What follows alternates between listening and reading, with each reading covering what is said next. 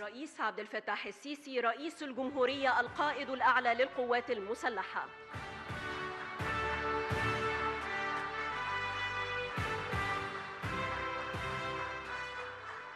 السلام عليكم. اتفضلوا استريحوا اتفضلوا السيد الرئيس عبد الفتاح السيسي رئيس الجمهورية القائد الأعلى للقوات المسلحة. السيدات والسادة الحضور الكريم. كل عام وحضراتكم جميعا بخير ومصرنا الحبيبة بأمان وسلام وعزة وتقدم. أيام قليلة وتنطوي صفحات عام 2022 ليبدأ عام جديد نواصل فيه معا العمل الدؤوب لتحقيق المزيد من الإنجازات بإرادة مصرية قوية وصلبة. وبقيادة سياسية صاحبة رؤية تمتلك تخطيطا علميا سليما دائما. استطاعت بوعي وإصرار أن تثبت ركائز الجمهورية الجديدة وأن تضع مصر على الطريق الصحيح طريق الاستقرار والبناء والتنمية. طفرة تنموية وانطلاقة حضارية عملاقة شهدتها محافظات مصر بافتتاح العديد من المشروعات القومية ذات التأثيرات الاقتصادية والاجتماعية المهمة واسعة النطاق على المستوى الجغرافي. مشروعات تعطي املا بأن هناك تغييرا للأفضل وأن هناك فرصا جديدة للعمل لشباب مصر. فضلا عن مساهمتها في إعادة تشكيل خارطة مصر التنموية وتحقيق حياة كريمة للمواطن المصري.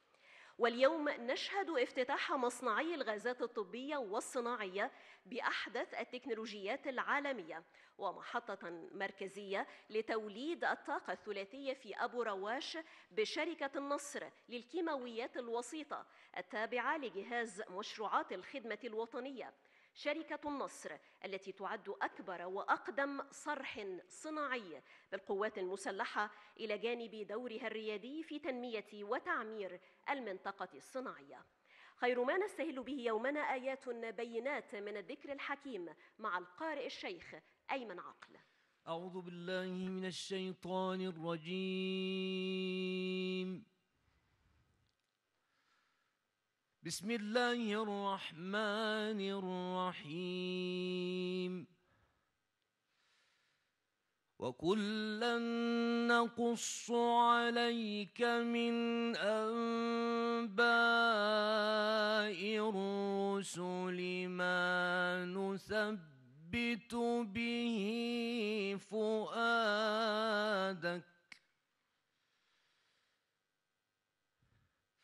وجاءك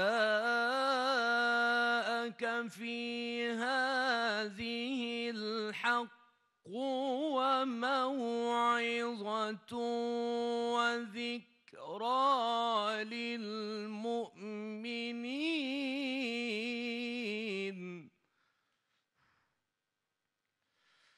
وكل الذين لا يؤمنون اعملوا على مكانتكم إنا عاملون.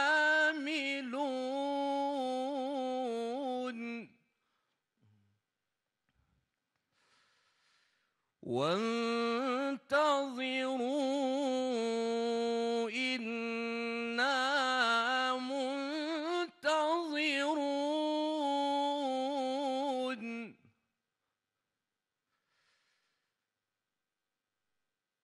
ولله غيب السماوات والأرض وإليه يرجع الأمر كله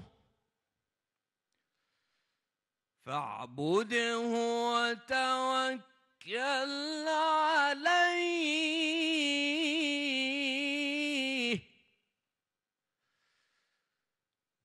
وما ربك بغافل عما تعملون. صدق الله العظيم. صدق الله العظيم. جهاز مشروعات الخدمة الوطنية. دعامة أساسية من دعائم الاقتصاد الوطني وركيزة واضحة على طريق التقدم والنمو. يجمع في أسلوب عمله بين شركات قطاع الأعمال وشركات القطاع الخاص وأثر منذ بدء نشأته على أن يكون له مساهمته ودوره الفعال في النهوض بمستوى التنمية في مصرنا الغالية. كلمة اللواء أركان حرب وليد حسين أبو المجد مدير عام جهاز مشروعات الخدمة الوطنية. فليتفضل.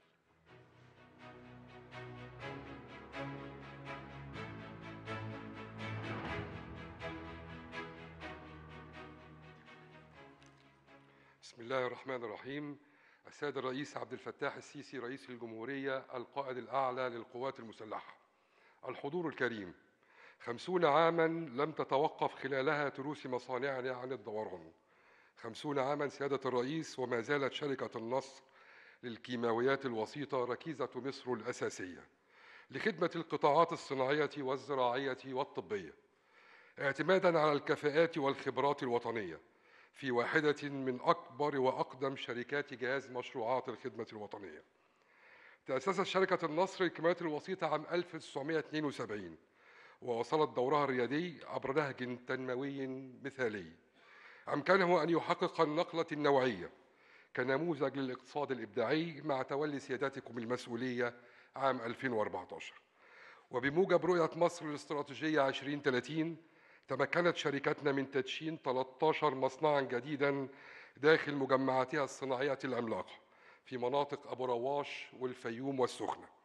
وبذلك ارتفع تعداد مصانع شركة النصر للكيماويات الوسيطة خلال ثمانية أعوام من 26 إلى 39 مصنعا متخصصة في الصناعات الكيماوية والأسمدة الفوسفاتية. أمكنها تأمين حياة المصريين والوفاء باحتياجات السوق المصري. من الكرول ومشتقاته لتوفير مياه شرب صحية وآمنة بكافة أنحاء الجمهورية. والأسمدة الفوسفاتية بتعظيم قيمة خام الفوسفات. بالإضافة إلى الغازات الطبية والصناعية وتصدير فائض الإنتاج إلى دول العالم المختلفة. وبهذه الإنجازات شاركت صروحنا الإنتاجية فيما تشهده مصر من نهضة زراعية وصناعية. كما كانت بمثابة الحصن والسند حيال مجابهات تداعيات الأزمات العالمية. من بينها جائحة كورونا والحرب الروسية الأوكرانية. وإذا كانت شركتنا هي الأكبر من نوعها في إفريقيا والشرق الأوسط. فيكفيها فخرا أن منتجاتها تغزو الآن 55 دولة حول العالم وهو إنجاز ما كان يتحقق دون سياسة واعية وإرادة وطنية لنحو ستة آلاف من خيرة المهندسين والفنيين الذين يشكلون حجم العمالة المنتظمة داخل مصانع الشركة. سيادة الرئيس إن في حياة الأمم أوقات لا تنسى وفي سجلات الشعوب سطورا لا تمحى. وأسعد لحظات العمر تلك التي نجني فيها ثمار تخطيط رسمناه وجهد بذلناه حتى نحقق ما نتطلع إليه من نهضة تنموية. وفي وقت ترسي فيه أمتنا دعائم الجمهورية الجديدة. نتشرف اليوم بحضور سيادتكم لمقر شركة النصر للكيماويات الوسيطة بأبو رواش لافتتاح مصنعين لإنتاج الغازات الطبية والصناعية هما الرابع والخامس. بالإضافة إلى محطات توليد طاقة ثلاثية.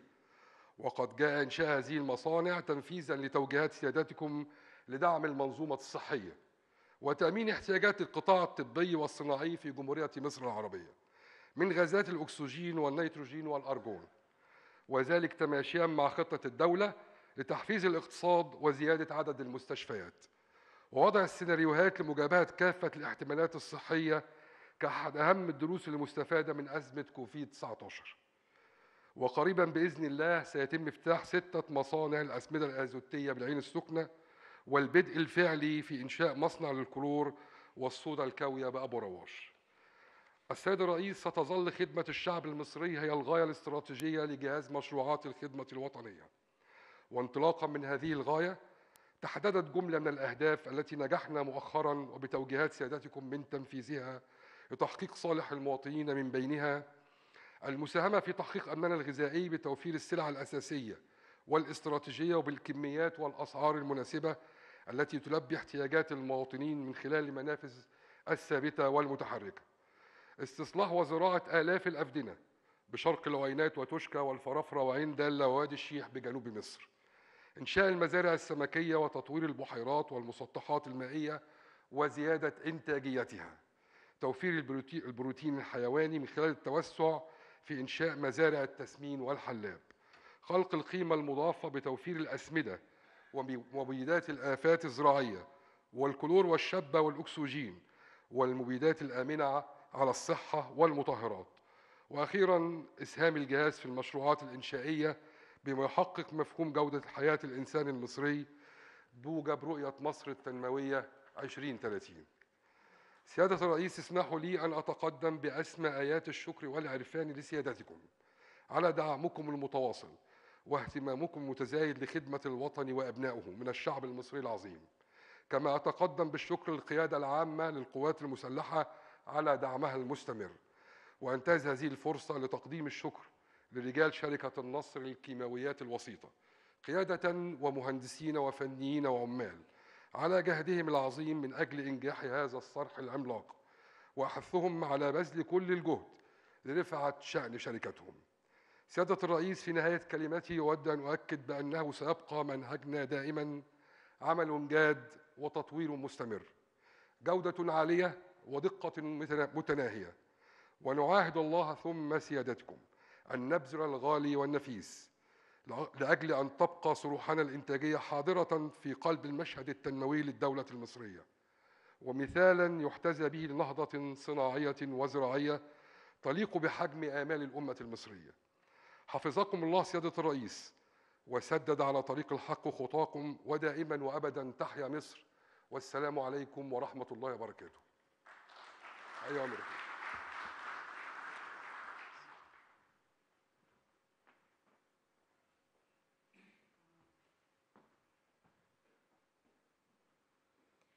ما نشهده اليوم وما شهدناه قبل ذلك من مشروعات تنموية عملاقة في كل أنحاء مصر. ورغم كل التحديات التي تواجه الدولة المصرية فإن الهدف الدائم من هذه المشروعات هو توفير كل ما يحتاجه المواطن المصري من أجل حياة كريمة ومستدامة ومن أجل بناء دولة عصرية حديثة. الآن نتابع فيلما تسجيليا بعنوان أمل جديد.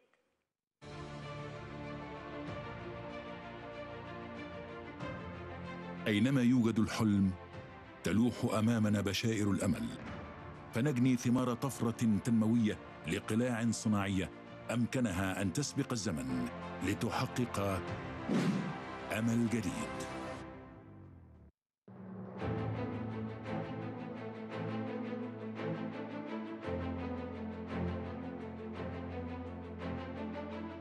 أمكن للمجمع الصناعي المصري إنشاء عشرات القلاع الإنتاجية ومن بينها صروح شركات جهاز مشروعات الخدمة الوطنية.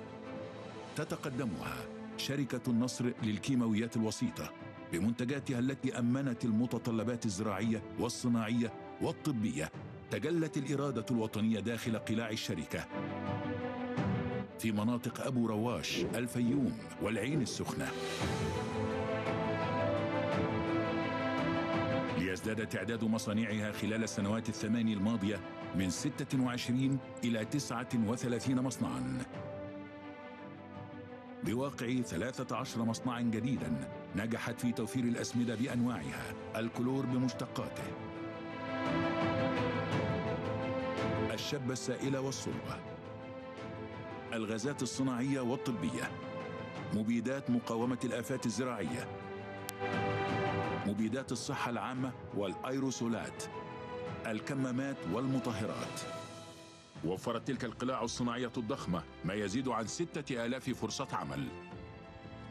صروح أبت إلا أن تفوق مثيلاتها العالمية. وأن تصدر منتجاتها لنحو 55 دولة عربية وأجنبية. وفي إطار توجيهات القيادة السياسية لتأمين الاحتياجات من الأكسجين الطبي المسال. افتتحت الشركة عام 2019 مصنع الغازات الطبية والصناعية رقم ثلاثة وتسارعت الخطى. فتم إنشاء مصنعين جديدين لإنتاج الأكسجين والنيتروجين والأرجون بطاقة يومية 200 طن. ليصبح إجمالي الإنتاج من الأكسجين المسال 340 طنا يوميا ومن الأرجون المسال 1000 طن سنويا. ومن النيتروجين 43 ألف طن سنويا مما ساهم في تلبية احتياجات أكثر من 280 مستشفى. كما شهد فرع أبو رواش افتتاح مصنع فوق أكسيد الهيدروجين بتركيز 50% أمل جديد يزيد الاحتياطات المصرية من الغازات الطبية والصناعية. على طريق الإنجازات نشهد اليوم افتتاح محطة إنتاج الطاقة الثلاثية بقدرة 27 ميجا وات ساعة كهربائية و16 طن ساعة بخار ونحو 430 طنا من المياه المبردة بما ساهم في الحفاظ على البيئة عبر خفض استهلاك المحروقات بمعدل 25% عن الطرق التقليدية. مع خفض في البصمة الكربونية للمجمع بنحو 40 ألف طن ثاني أكسيد كربون كل عام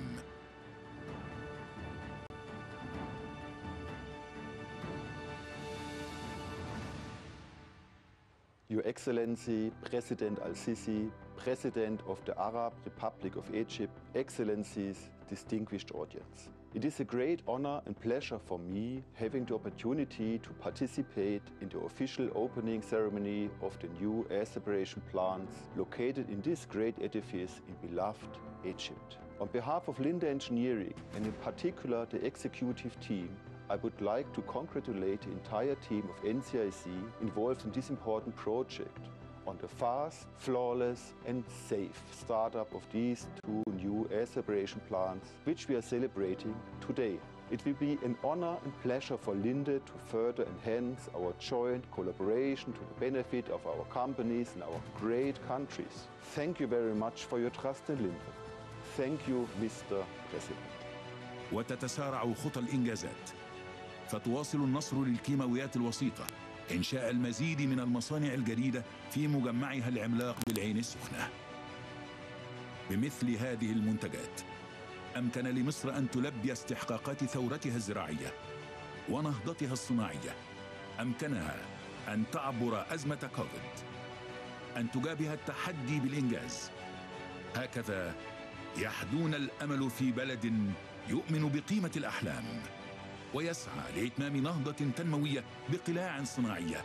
أمكنها أن تسبق الزمن لتحقق أمل جديد.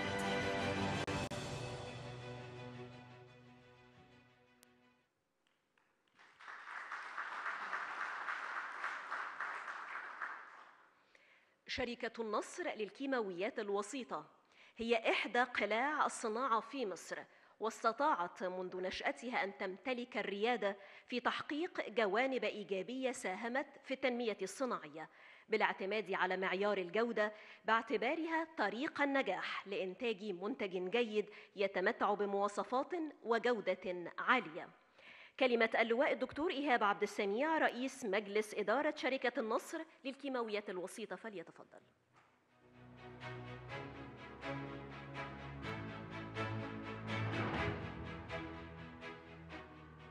بسم الله الرحمن الرحيم. السيد الرئيس عبد الفتاح السيسي رئيس الجمهورية القائد الأعلى للقوات المسلحة الحضور الكريم. مرحبا بسيادتكم في شركة الناصر للكيماويات الوسيطة. كل عام وسيادتكم بخير بمناسبة قرب العام الميلادي الجديد 2023 أعاده الله عليكم سيادة الرئيس وعلى مصر وشعبها وجيشها بكل خير وسعادة. كل عام وتتوالى مسيرة التنمية في شتى ربوع مصرنا الغالية. لتحقيق إنجاز تلو إنجاز وبالإرادة والعزيمة نقوي دعائم اقتصادنا. السيد الرئيس إن أبناءكم في شركة النصر للكيماويات الوسيطة يتقدمون لسيادتكم بخالص الشكر والتقدير على ما أوليتموه سيادتكم من ثقة واهتمام بالشركة والذي ظهر جليا على مدار الأعوام الثمانية السابقة بوضع الشركة في مصاف كبريات الشركات في مجال الكيماويات الوسيطة والأسمدة والمبيدات والغازات الطبية فمنذ تولي سيادتكم قيادة الدولة صدقتم سيادتكم على تطوير شركة النصر للكيماويات الوسيطة بإنشاء العديد من المصانع الجديدة في أفراعها المختلفة التي حققت الاكتفاء الذاتي من بعض المنتجات وتمكنت من تصدير الفائض نستعرضها كالآتي.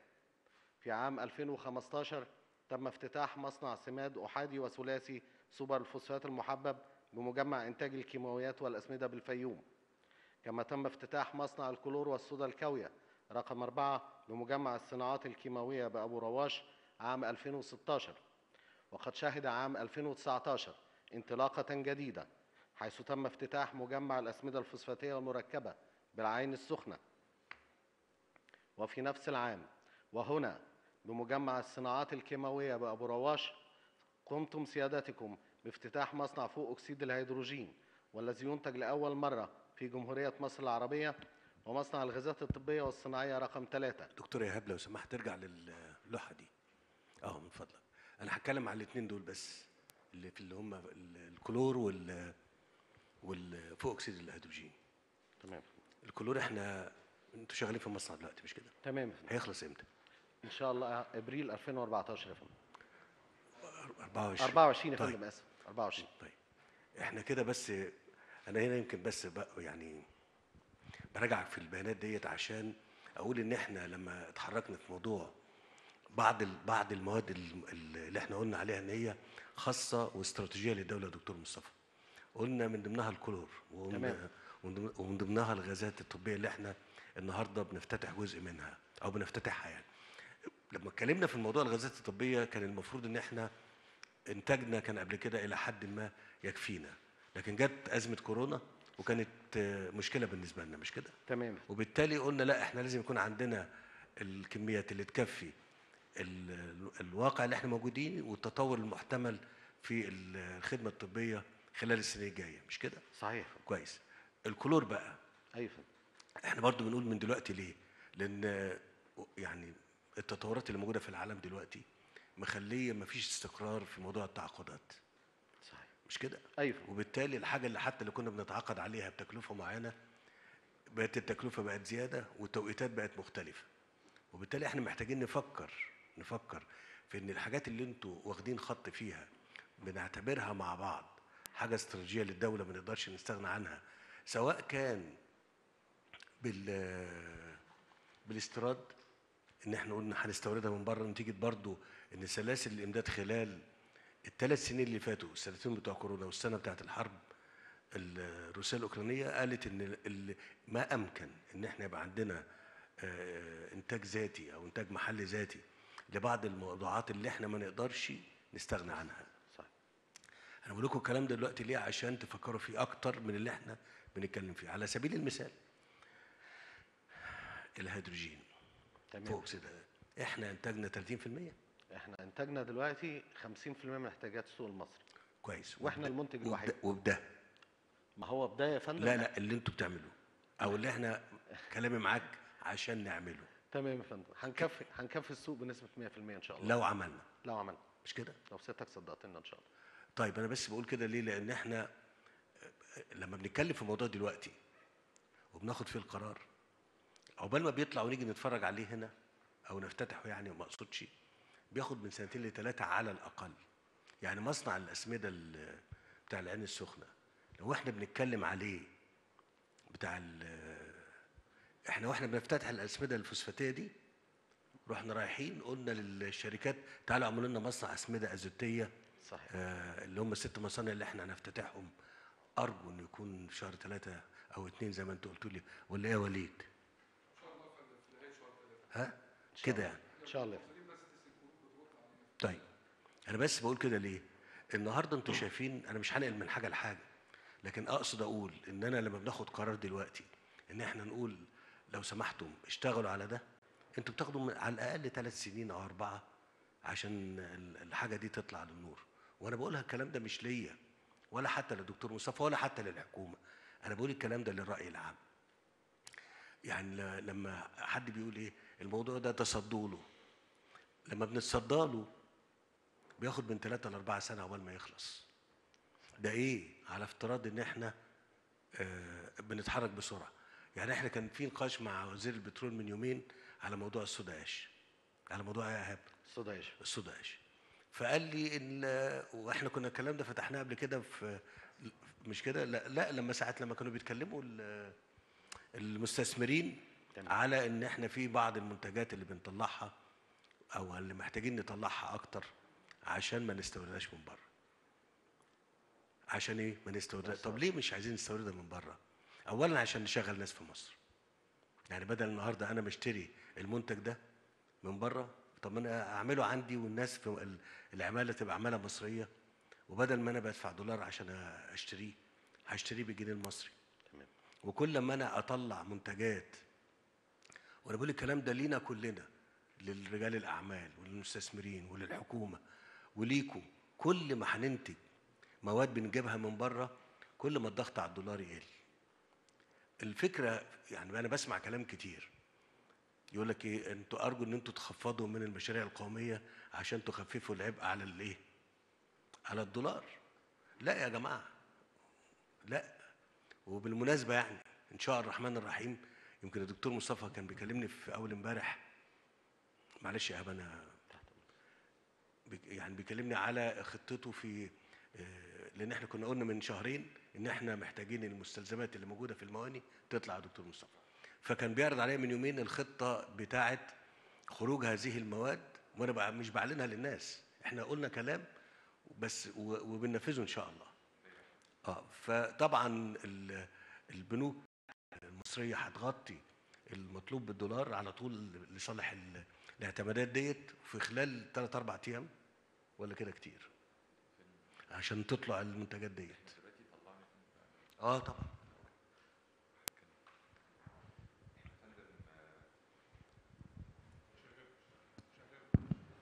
إحنا يا فندم على مدار من 1 ديسمبر لغاية 23 ديسمبر أفرجنا عن بضايع بخمسة مليار دولار. إحنا كان الكلام كله إن في في المواني 15 مليار.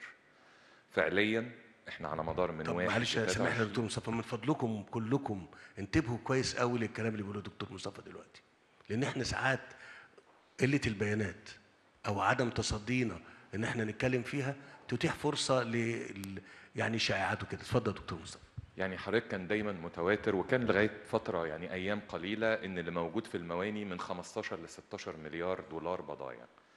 الرقم ده فعلا كان موجود لغاية آخر نوفمبر. الرقم بهذا الحجم.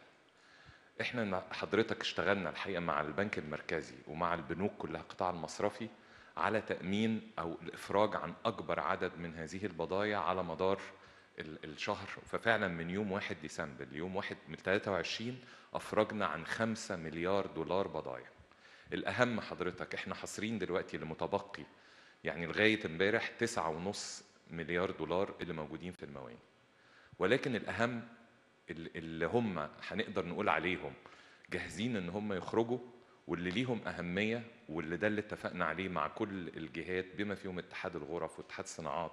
عشان الأربع شهور القادمين طبعا بما فيهم شهر رمضان هم في حدود الأربعة مليار دولار وأربعة ونص. ده بخلاف إن الباقي برضه حط له الخطة إن هو يخرج لأن إحنا مش عايزين نوقف المصانع بتاعتنا ولا نقلل أو نبطئ عملية طبعا الإنتاج في خلال الفترة القادمة. فعشان كده يمكن يا فندم يعني كان في امبارح اجتماع مهم جدا مع كل الجهات بننسق هذا الموضوع واسبوعيا يا فندم هنعلن إحنا بنخرج قد إيه من كل البنوك والقطاع المصرفي وبال آه، باسم القط... يعني المنتجات اللي بتطلع لأن هو ده الأهم واللي حضرتك وجهت بيه.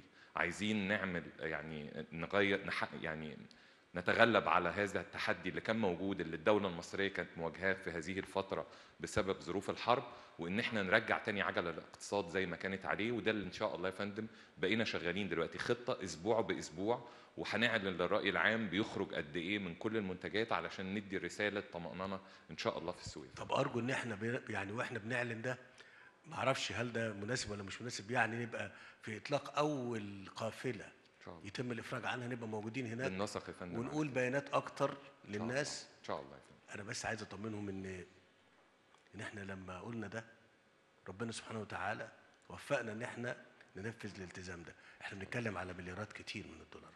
بالظبط بنتكلم على إيه؟ مليارات كتير يا فندم. فالناس مسكت في الدولار شوية لكن لا بأس. إحنا برضو معانا دولار مش كده ولا إيه؟ إن شاء الله يا فندم. إن شاء الله ومدبرين الموضوع. أنا عايز بس أستأذن حضرتك عشان موضوع الكلور. اسمح لي يعني في دقيقة طبعاً. أوضح بس للناس إيه. يعني وقت ما حضرتك شرفتني إن أنا أكون وزير إسكان والفترة اللي أنا قعدتها كان أكبر هاجس عندي كوزير إسكان مشكلة توفير الكلور لمحطات المية. إحنا هنا بنتكلم على المية اللي بيشربها المواطن.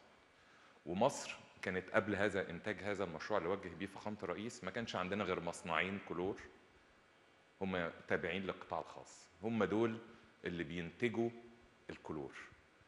طبيعة مصانع الكلور إن لازم كل سنة بتتعمل عمرة أو صيانة فالمصنع بيتوقف. فكانت بتبقى دايما عندنا الأزمة وأنا عشان بس نتخيل إحنا أزمة هنا معناها إن أنا أوقف محطات مية عن الشغل. وإلا كنت البديل إن أنا أروح أستورد الكلور بالدولار عشان أجيبه وأشغل المحطات. أنا هنا بتكلم على قدرات يا فندم محطات كانت موجودة في 2015 و2016 إحنا النهارده مش نفس المحطات الموجودة. إحنا زودنا كميات المياه المنتجة النهارده 25 ل 30% من هذا التاريخ. فلنا أن نتخيل إن لولا هذه الصناعة وهذا المصنع كان هيبقى شكلنا إيه النهارده؟ لو كنا زي ما إحنا وكنا هنبقى بن... تقريبا بنستورد أكبر من نص احتياجاتنا من الكلور من الخارج بالعملة الصعبة. دي أهمية هذه النوعية من المشروعات إنها اولا ده أمن قومي لأن تخيلوا حضراتكم لو وقفنا محطة مية شرب عن العمل نتيجة لأن مفيش كلور ممكن يبقى الأهالي ممكن يعيشوا إزاي؟ والأهم فرص عمل زي ما خانة الرئيس قال واللي بعد وال- والحاجة الثالثه وهي الأهم توفير عملة صعبة كانت الدولة المصرية هتنفقها في هذا الشأن. شكرا. يا دكتور مصطفى. يبقى أنا طمنتكم على موضوع المستلزمات زي ما اتفقنا يا دكتور مصطفى وأرجو إن إحنا نطلق هذا الأمر يعني يعني بتغطية إعلامية مناسبة الناس تشوف. حجم المواد اللي هتخرج من المواني خلال الفترة القليلة اللي هو اليومين ثلاثة الأسبوع اللي جايين دول عشان نبقى آه، يعني الحمد لله أنهينا المشكلة ديت. نرجع تاني لموضوع المصانع. إحنا بنتكلم هنا على صناعات محددة. الصناعات دي بقول تاني آه، يعني مش مش عايز أكرر الكلام اللي اتقال إن هي ما, ما عندناش طرف أو آه، يعني إن إحنا نخاطر بيها. ما نقدرش نخاطر بيها. مش بس عشان بتجاب بتجاب بتستورد من بره. لا انت النهارده عندك استقرار في إنتاجها هنا. انت ما عندكش مشكلة. لا انت خايف إنها تخش مواني أو ال- المصانع اللي موجودة بره يحصل أزمة ما تجيلكش الحاجة. لا انت ما عندكش المشكلة دي خالص. عشان كده بقول للدكتور إيهاب فوق أكسيد الهيدروجين أنت بتتكلم في 50% أيوه. أنا مش بتكلم بس على ثمن المواد ديت آه، كدولار. لا أنا بتكلم كأن هي استقرار في الصناعة هنا. لأن إحنا حتى يعني التكاليف بتاعتنا ما بتت يعني ما إحنا لما جينا نتعامل مع الموردين دلوقتي في مجال ال- المصانع الجديدة فوجئنا إن الأرقام بقت مختلفة. مختلفة فوق مش مختلفة آه يعني الناس كلها مش كده ولا صحيح إيه؟ فندم، صحيح. وبالتالي النهارده المصنع ده أو بتاع فوق اكسيد الهيدروجين إحنا محتاجين نتحرك عشان الفجوة ما تبقاش 50% تمام. الفجوة ما تبقاش إن شاء الله نحاول يا فندم يكون جاهز مع مصنع الكلور بإذن الله. يبقى يبقى في 2014 إبريل يعني. بإذن الله. يبقى كويس قوي إن شاء الله. نيجي بقى على مصنع الاسمده الأزوتية ده وأنا عايز أقول لكم إن إحنا مصر بال... بال... إن شاء الله بالمجمع ده بافتتاحه إن شاء الله. كان المفروض يبقى في شهر 12 كان المفروض المصنع ده مش كده يا وليد؟ كان المفروض يبقى في شهر 12 نفتتح الست مصانع بتوع السخنة. ولكن يعني نتيجة الظروف ال- يعني الدولية والكلام ده اتأخرت شوية لكن إن شاء الله في شهر 2 3 نكون بنفتتحه وده هيدخل حوالي 700 ألف طن ولا كام؟ 720 ألف طن يا فندم. 700 أنا بحفظ ب تمام. 700 ألف طن تمام. أسمدة أزوتية. تمام. يجابه التطور اللي إحنا بنعمله إحنا بنتكلم على 2 3 مليون فدان خلال آه، سنتين. ولا أنا بقول يا وليد كلام آه، دكتور مصطفى؟ فأنا النهارده لما بقول كده يبقى أنا لو أنا بط- بطلع الأسمدة اللي تكفيني واللي أصدر منها آه، أنتوا شايفين كويس قوي إن موضوع وبرضه بقولها لل لإخواننا ال- المزارعين يا جماعة إحنا النهارده لو لو الأسعار بتاعت الغاز اللي داخل في صناعة الأسمدة بيتسعر بالأرقام العالمية الثمن هيبقى غير كده خالص. بس الكلام ده إحنا حريصين على إن إحنا نعمل استقرار في مدخلات الزراعة وبالتالي ال ال الأسعار ما زادتش بالقيمة لو النهارده لو وزير البترول قال لي يا فندم أنا آه، مش هقدر أدي مصانع الأسمدة كل الأسمدة حتى بتاعت القطاع الخاص أي حد يعني مش هقدر اديله بالثمن اللي هو بياخده بيه دلوقتي. أنا عايز أزود الرقم ده ضعف أو اتنين أو ثلاثة أنا بقول كلام معقول؟ مش طب ضعفين طب أنا النهارده ضعفين مين يستحمل ده؟ يبقى الطن أبو 6000 ولا يبقى ب 12 ب 18 مين هيستحمله؟ ومش بس كده.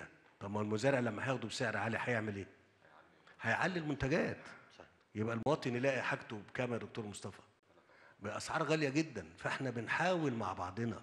وأنا بقول الكلام ده لينا كلنا ولل للمثقفين والإعلاميين والمفكرين والمتابعين. كل كلمة بقولها لكم آه، ممكن تبقى عنوان كبير قوي تتكلموا فيه. أنتوا فاهمين يعني إيه ان أنا النهارده الم- المنتجات الزراعية ديت أو ال- المواد الغذائية بتاعت الناس تزيد ثمنها مرتين ثلاثة هو مين يستحمل ده؟ مين يستحمل ده؟ بس خلي برضه بالكم وإن البلد إلى حد ما كيف هتقدر تجابه الاستمرار الحالة ديت؟ اللي سنه ولا اتنين جايين ما مش عارفين هتخلص إمتى؟ وهي ماسكة بتعمل آه، بتحافظ ما أمكن على الأسعار ما تزيدش. بتحافظ ما أمكن على الأسعار ما تزيدش.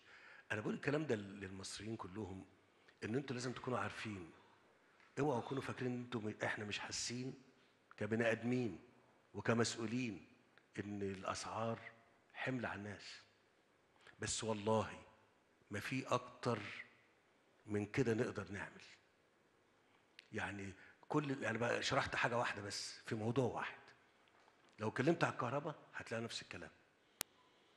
لو والله النهارده الدكتور شاكر حب يسعر الكهرباء هو والشركة والبترول بالتكلفة الحقيقية والله أنا مش بتكلم على اللي إحنا بندعمهم الكلام ده أنا قلته قبل كده. أنا بتكلم على حتى اللي إحنا كنا وصلنا إن إحنا حررنا السعر بتاع الكهرباء بالنسبة لهم اللي هي الشرائح الكبيرة قوي. اللي هي اللي هي أعلى آه، نسبة استهلاك. لا قدرنا نعمل كده مع المصانع ولا قدرنا نعمل كده مع المواطنين. بس أنت بتعمل ده كله منين؟ ما حدش بيجيب حاجة من جيبه. مش كده يا دكتور مصطفى؟ مش من جيبنا يعني. لكن ده من. من قدرة البلد. فانا بقول الكلام ده عشان كلنا نتكاتف. لأن ألاحظ إن بعض الناس يعني آه، يقول لك ده فرصة إن إحنا نعلي الأسعار شوية نكسب نقول ما فيش دولار ما في ده بالعكس ده الوقت ده هو الوقت اللي إحنا فيه بتد يعني يبرز فيه إن إحنا حرصنا على الناس. وإن إحنا ما نغليش الحاجة على الناس آه، في إحنا بنتكلم في أكل وشرب بنتكلم في أكل وشرب وحاجات أخرى. فأرجع أقول تاني للمصنع الأسمدة ده إن شاء الله في شهر آه، ده هيدخل لنا 700 ألف طن وبالتالي آه، ده إنتاج مصري ويساعدنا إن إحنا نلبي مطالب السوق وفي نفس الوقت لو في آه، فرصة للتصدير أكيد يعني نصدره للخارج يعني. فأنا يعني لو في عندك حاجة تاني حلم تاني عايز تعرضه عليا يا إيهاب قول.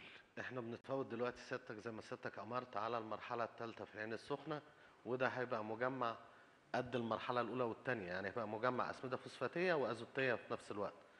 وإحنا وصلنا لأسعار معقولة. إن شاء الله يا فندم على نص يناير نكون جاهزين للعرض على سيادتك بإذن الله. طيب أنا بس هتكلم على الصودا أش تاني لأن إحنا اتكلمنا فيها كده عام واتكلمت مع وزير البترول والمسار. وأنا لما بقول لكم الكلام دوت على يعني بالطريقة ديت للناس كلها تسمعه في أمور ما أقدرش أنا آخد فيها مسار غير إن أنا أطمن ان إن يعني المناقصة الفنية متكاملة ما أقدرش أتكلم غير كده. لكن المسار بتاع التعاقد آه، وزير بيقول لي نشوف ال- ال- رجال القطاع الخاص هيشوفوا البنوك تمول وماله. وأنا بقول الكلام ده عشان برضو البنوك هتاخد بالها. إحنا ما عندناش وقت إن المصنع ده يتأجل. التعاقد عليه سنة أو اتنين لغاية لما مصادر التمويل بتاعته يا دكتور مصطفى لأ. أنا بستورد ب 300 مليون بس بستورد ب 300 مليون دولار صودا عيش. فأنت كل ما تأجل عليا كل المبلغ ده ما هطلعه. وببيعه بايه يا فندم؟ ببيعه بالجنيه. ما أقدرش أقول للمواطن خد الحاجة دي. لا ده بالعملة عملة بلده. فبنشغل ناس وكمان آه، بوفر ال- القيمة اللي أنا بعملها الدولار اللي أنا بجيب بيه ده والناتج المحلي بتاعي بيزيد. فالنهاردة المسار اللي بتكلم فيه للرجال رجال الأعمال. أنا لما قلت الموضوع الرخصة الذهبية دكتور مصطفى كان الهدف منها إن أوفر لك وقت. لكن كمان البنوك مع رجال الأعمال أنا ما عندناش وقت إنك أنت تقول له من ضمن المستلزمات بتاعت إنك أنت تاخد قرض من عندي. يعني في موضوع يعني مشروع أكيد نجاحه. يعني صدى عيش مشروع أكيد نجاحه. نجاحه بإيه؟ انك انت بتستورد بالفعل ب 300 مليون دولار. فأكيد لما توفر المبلغ ده ده لصالح الاقتصاد ال- القومي. فأنت في ما أقدرش أقول ما أقدرش أقول عشان ما يبقاش كلامي مش مش مش مش مظبوط إنك أنت ما تطلبش دراسات جدوى.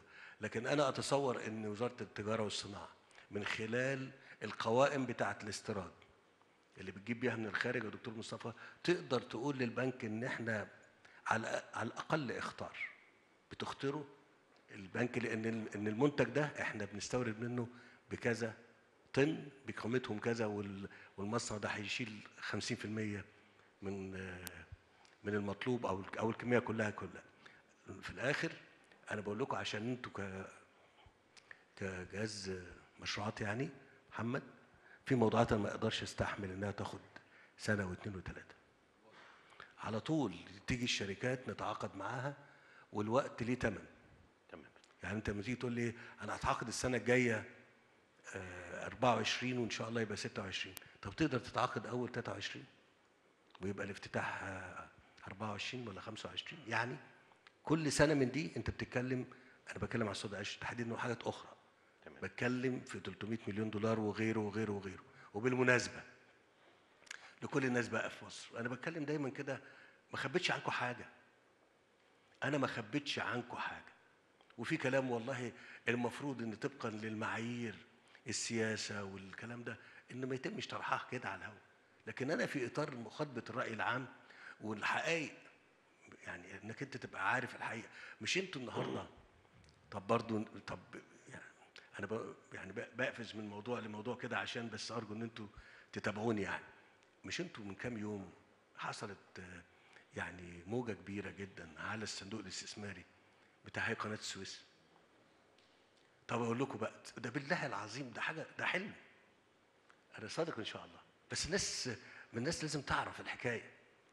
لما جه الفريق أسامة في 2019 آه، بقول له آه، قول لي أخبار عندك أموال إيه؟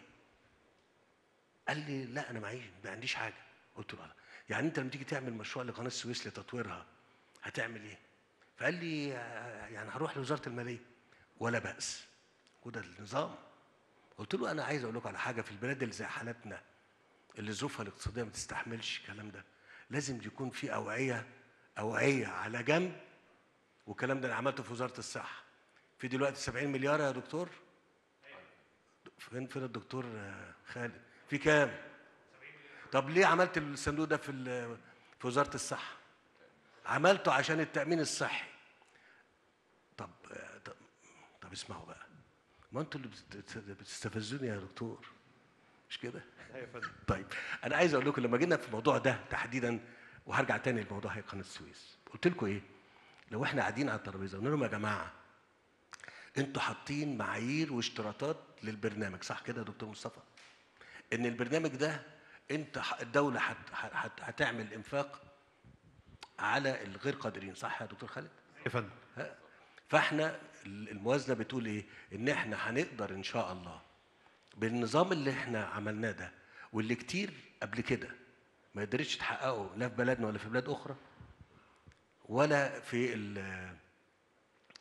آه، بلاد أغنى مننا ما قدرتش. فاحنا ال- النظام كان 15 سنة. طب معمول على إيه؟ على إن في قيمة الدولة هتدفعها على الغير القادرين وقيمة الناس إيه؟ هي اللي هتتحملها من هتتحمل. الاشتراكات طيب وجينا ابتدينا نشتغل في رفع كفاءة المستشفيات في بورسعيد والخمس محافظات التانيين. صح كده؟ مظبوط فندم. وإحنا بنتكلم قلت لهم بقول لكم إيه؟ أنتوا بتحطوا افتراضات على إن الناس كلها ممكن ت إيه؟ تدفع. صح كده؟ تكون قادرة على. وحطيتوا نسبه وحطيتوا نسبة. لكن عملتوا احتياطي لنسبة محتملة غير قادرة. قالوا يا دكتور لا. قلت لهم ما ينفعش. لازم يكون عندكم صندوق فيه رقم يتزايد وتجيبوا له موارد عشان لما نيجي نخش على أنتوا خدتوا محافظة بورسعيد ك كعنوان. مش كده؟ طب. أنتوا في محافظات أخرى ظروفها إيه؟ أصعب. مختلفة أصعب. فأنت ممكن تقول لي طب النتيجة اللي هو ال- ال- التجربة بتاعتكم اللي عملتوها في بورسعيد مش هتبقى 100% صح يا دكتور خالد؟ صح. في تطبيقها على محافظات كثيفة بالظبط. فقلنا لازم يكون عندنا صندوق نحط فيه أموال ونعززه وندعمه من مصادر أخرى بحيث لو دخلنا على محافظة طبقا للمعايير والحسابات الاكتوارية. الاكتوارية اللي اتعملت في وزاره في ال- ال- المختصين عملوها للبرنامج لما تقل أخد منين؟ من الصندوق من الصندوق. فالفكرة دي قد تكون في دول تانية متقدمة عننا وأغنى مننا ما تعملهاش، ليه؟ عنده موازنه تقدر إيه؟ تغطي التكلفة تغطي، ثم مواطنيه أغنى مننا. يعني إيه مواطنيه أغنى مننا؟ هو المواطن اللي بياخد 3000 4000 و5000 و10000 هو ده مواطن هتقول لي أنت بتقول كده وأنت مسؤول أيوه أنا مسؤول وعشان كده بشرح بقول آه ما أقدرش المواطن بتاعي لسه لازم أول املى له جيبه. بايه بشغل بوقت كتير وجهد كتير هنعمله يا دكتور مصطفى. فأرجع تاني للدكتور خالد. فقلنا نعمل الصندوق ده. فأنا النهارده الصندوق ده فيه كام؟ 70 مليار. وهم بيعرضوا عليا من كام يوم. قال لي لو ما خدناش بالنا. مش كده يا دكتور؟ مش كده يا دكتور مصطفى؟ قال لي ممكن إيه في خلال كام سنة؟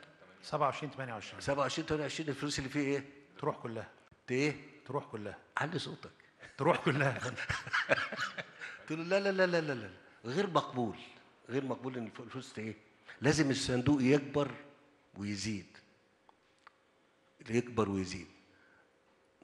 طيب يعني مش عارف لو دخلت على النقطة دي المهمه هو من غير ما أجيب أسماء آه، مستشفيات. كان آه، في مستشفى بتفتح من سنتين كده. جمعية أهلية عاملاها وجمعية وكل الجمعيات الأهلية محترمة جدا كلها. فبيقول ف سألت اللي هو المسؤول عنها بالتليفون قلت له عندك آه، رياع اللي يس- يساوي تكلفة العلاج إيهاب أنا موقفه كده كتير. لا تعتمد طب معلش. تعتمد ما هي فرصة بقى. تمام. فقلت له عندك فرصة إنك أنت يبقى عندك ريع ثابت. مش مرتبط بتبرعات الناس. اللي استرفع على المستشفى قال لي لا. قلت له انت ماشي فيه ده غلط. اللي انت ماشي ده في إيه؟ غلط. قال لي إزاي؟ قلت له كده. انت ما بتعملش النهارده مسار منتظم على فرضية غير إيه؟ منتظمة. غير ومضمونة. منتظمة. الفرديه اللي غير منتظمة إيه؟ ليها تبرعات الناس. ممكن تزيد وممكن تقل. لكن اللي انت لو انت جيت قلت المستشفى دي هتتكلف في السنة. 20 مليون جنيه. يبقى ال 20 مليون جنيه دول في رقم في البنك مربوط يجيب لي ال 20 مليون جنيه يبقى في استقرار للعلاج بتاع الايه؟ المواطنين. المستشفى. لو ما عملتش كده هيبقى في مشكلة. أو تاخد جزء من الناس. قال لي لا الجزء من الناس ما أقدرش اخد ما أقدرش يا دكتور ما أقدرش اخد طيب خلاص. وبعدين إحنا كمل وبعدين بكلمه من فترة كده. بقول له أخبارك إيه؟ قال لي لا ده أنا الظروف ابتدت يعني قلت له تبرعات قالت قال لي لا. التبرعات ما قالتش. لكن حجم الطلب يا دكتور خالد إيه؟ زاد والتكلفة زاد. زادت. وأنت ما تقدرش تقول لحد جاي أنا ما أقدرش إيه؟ ما عليكش ما أقدرش ما أعالجكش. ده مستشفى لجمعية وحاجة خيرية جدا. ف ف أنا بقول ده عشان أربط بين الكلام ده كله وبين مسار أنا تصورت مع زمايلي إنه فرصة لإيجاد حلول بعيد عن موازنة الدولة ودون التأثير عليها. وهجيب مثال قلت لكم عليه قبل كده. لما جيت كلمت الدكتور مصطفى وهو وزير الإسكان في أول يوم يعرض عليا وكان رئيس الوزراء في الوقت ده الدكتور محب ربنا يديله الصحة. فبقول له يا دكتور مصطفى عندك إيه؟ عندك فلوس؟ فقال لي 750 مليون جنيه. قلت له إيه؟ قال لي 750 مليون جنيه. قلت له يا دكتور مصطفى ده أنا ما سمعتش. والله صحيح. النهارده بال- بالمسار اللي إحنا مشينا فيه الدكتور مصطفى الصندوق بتاعه هقول ولا نص تريليون جنيه. واحد يقول لي طب ما تدوهم لنا إن خالد إيه؟ نستخدمه إحنا. ناكل إيه؟ هو ده اللي خرب البلد دي. هو اللي خرب البلد دي إيه؟ طب ادوهم لنا. مفيش ادوهم لنا. يفضل المسار ده ناجح واعمل مسار جنبه ناجح واعمل مسار وزارة الصحة ناجح. يبقى إن أنا الهدف والأسس اللي إحنا حطينا فيها نجاح وزارة الصحة في البرنامج التأمين الصحي تنجح ولا ما تنجحش؟ تنجح. تنجح. ما يتقالش إن موارد الدولة المصرية لم تستطع أن تلبي البرنامج. أنا غلطان؟ طيب يجي بقى عليا كنت بتفضل استريح. نيجي بقى عليا قناة السويس. فبيقول لي أنا ما فيش قلت له طب لو أنت عايز تعمل تطوير لل... للقناة هتجيب فلوس منين؟ أنا النهارده لو هي قناة السويس عايزة تخش في مشاريع تمولها تمويل أرباحها باللي موجود دلوقتي 500 جنيه في الشهر. 500 مليون ولا إيه؟ طب السنة الجاية ولا ممكن يبقى تعمل بمليار في الشهر. طب السنة اللي بعدها ممكن يبقى مليارين في الشهر. السنة اللي بعدها يبقى ثلاث مليارات في الشهر. يبقى أعمل إيه؟ مش أنتم. قلتوا لي في رقبتك وأنا والله العظيم بحاول أعمل على قد ما ربنا يقدرني. تاني بقول طب إيه الغلطة فين؟ أنا في تقديري إن الغلطة هي عدم ط... أنا النهارده زي ما أنت جبت يا فريق أسامة لما بكلمه قلت له أنت ليه ما جبتش ال- رجال ال- الصحافة والإعلام وشرحت لهم الموضوع؟ مش. مش بعد ما نخش البرلمان يا دكتور. لا قبل. ليه؟ الناس عايزة تعرف وعايزة تطمن وعايزة. إن ما يكونش في حاجة غلط بتتعمل أو في حاجة هتبقى غلط. ف وبعدين إحنا مش مش هنقول إن ابدا إن كل من تكلم ممكن يكون عنده يعني مغرض ولا حاجة أو إشاعة. في ناس خايفة. وخايفة من إيه؟ ما هو الخوف بقى سمة موجودة عندنا. موجوده عندنا مش مصدقين إن إحنا نقدر نعمل. لا إحنا نقدر نعمل. وإن شاء الله إن شاء الله إن شاء الله هنعمل وهنعمل وهتشوفوا.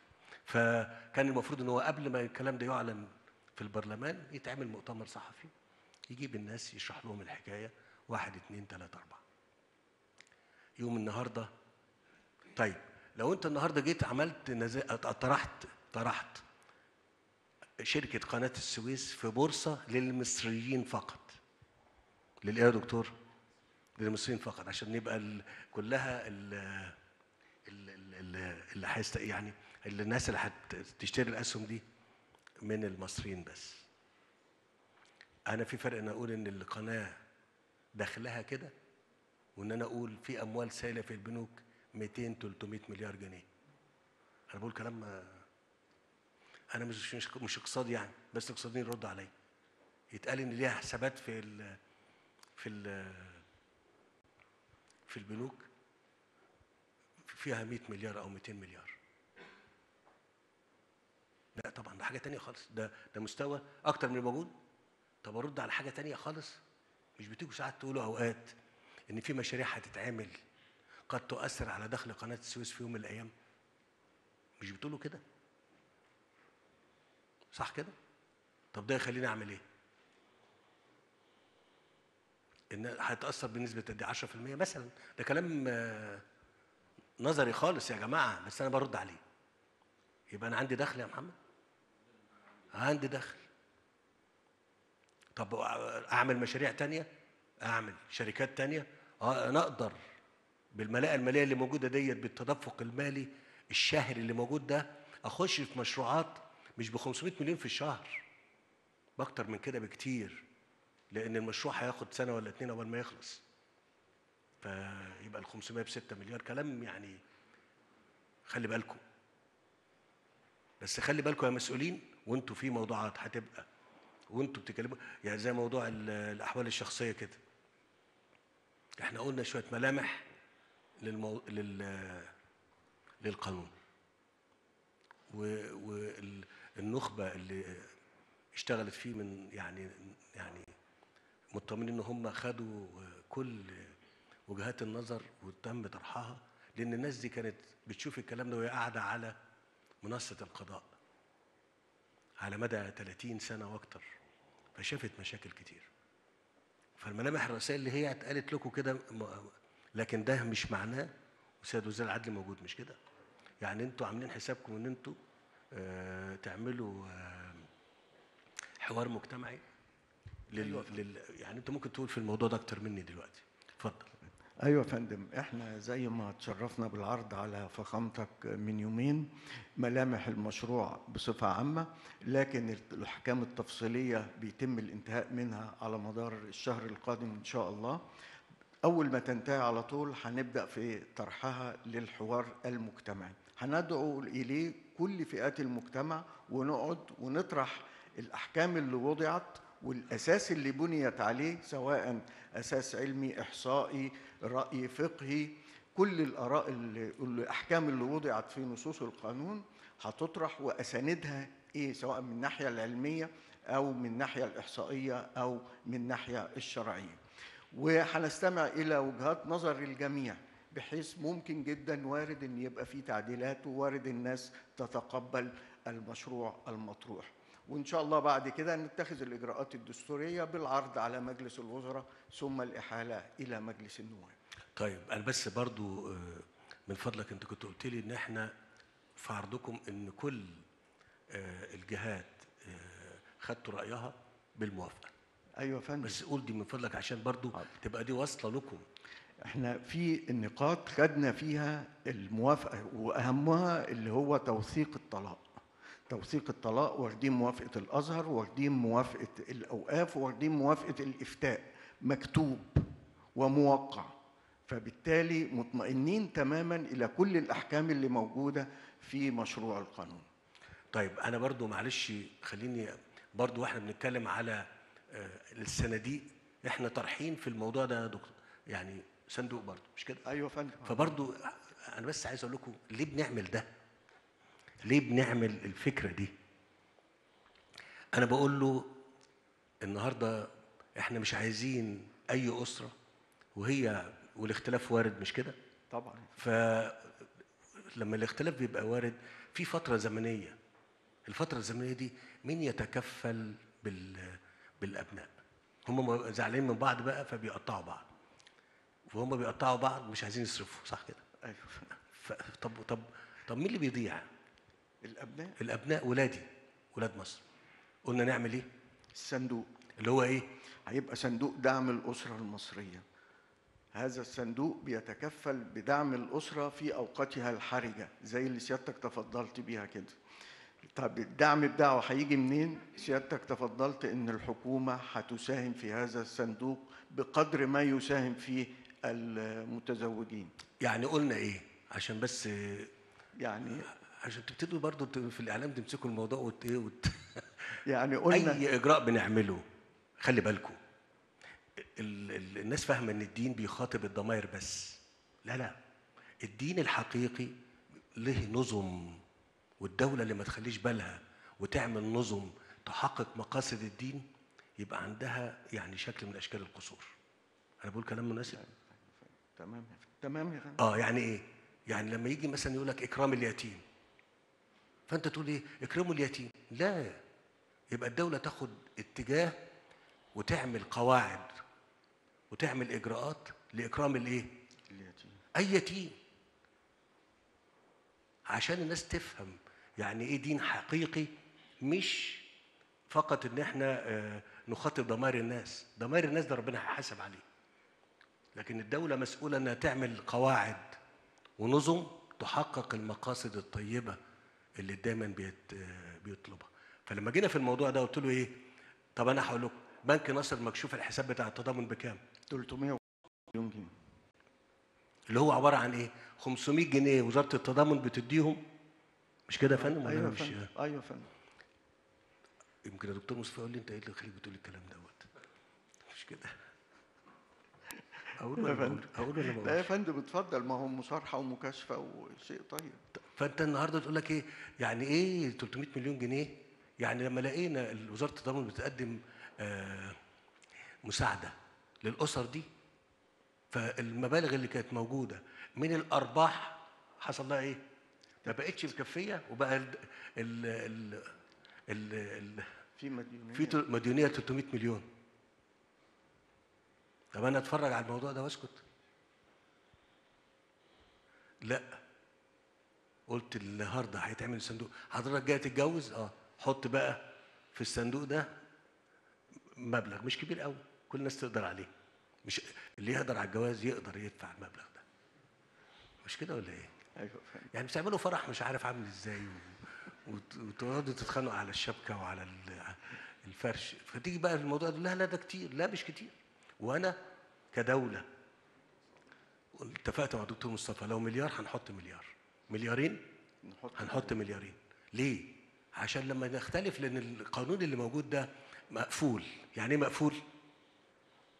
يعني إحنا قفلناه بحيث إنك أنت ما فيش مسار إحنا هنتكفل بالإجراء اللي يقدر يأمن ولادنا في كل شيء. مش كده ولا؟ أيوه فندم. وده النقاش اللي يتعمل عليه. أنتوا بتتكلموا على نسبة قد إيه؟ أنتوا بتتكلموا على نسبة طلاق قد إيه؟ عشان برضو ده آه. أنا كنت عايزك تقول دي كمان.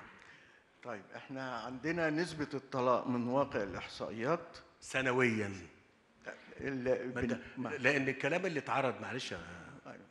معالي وزير العدل يعني اللي الكلام اللي اتعمل اتقال على مجمل حالات الطلاق في فترة زمنية.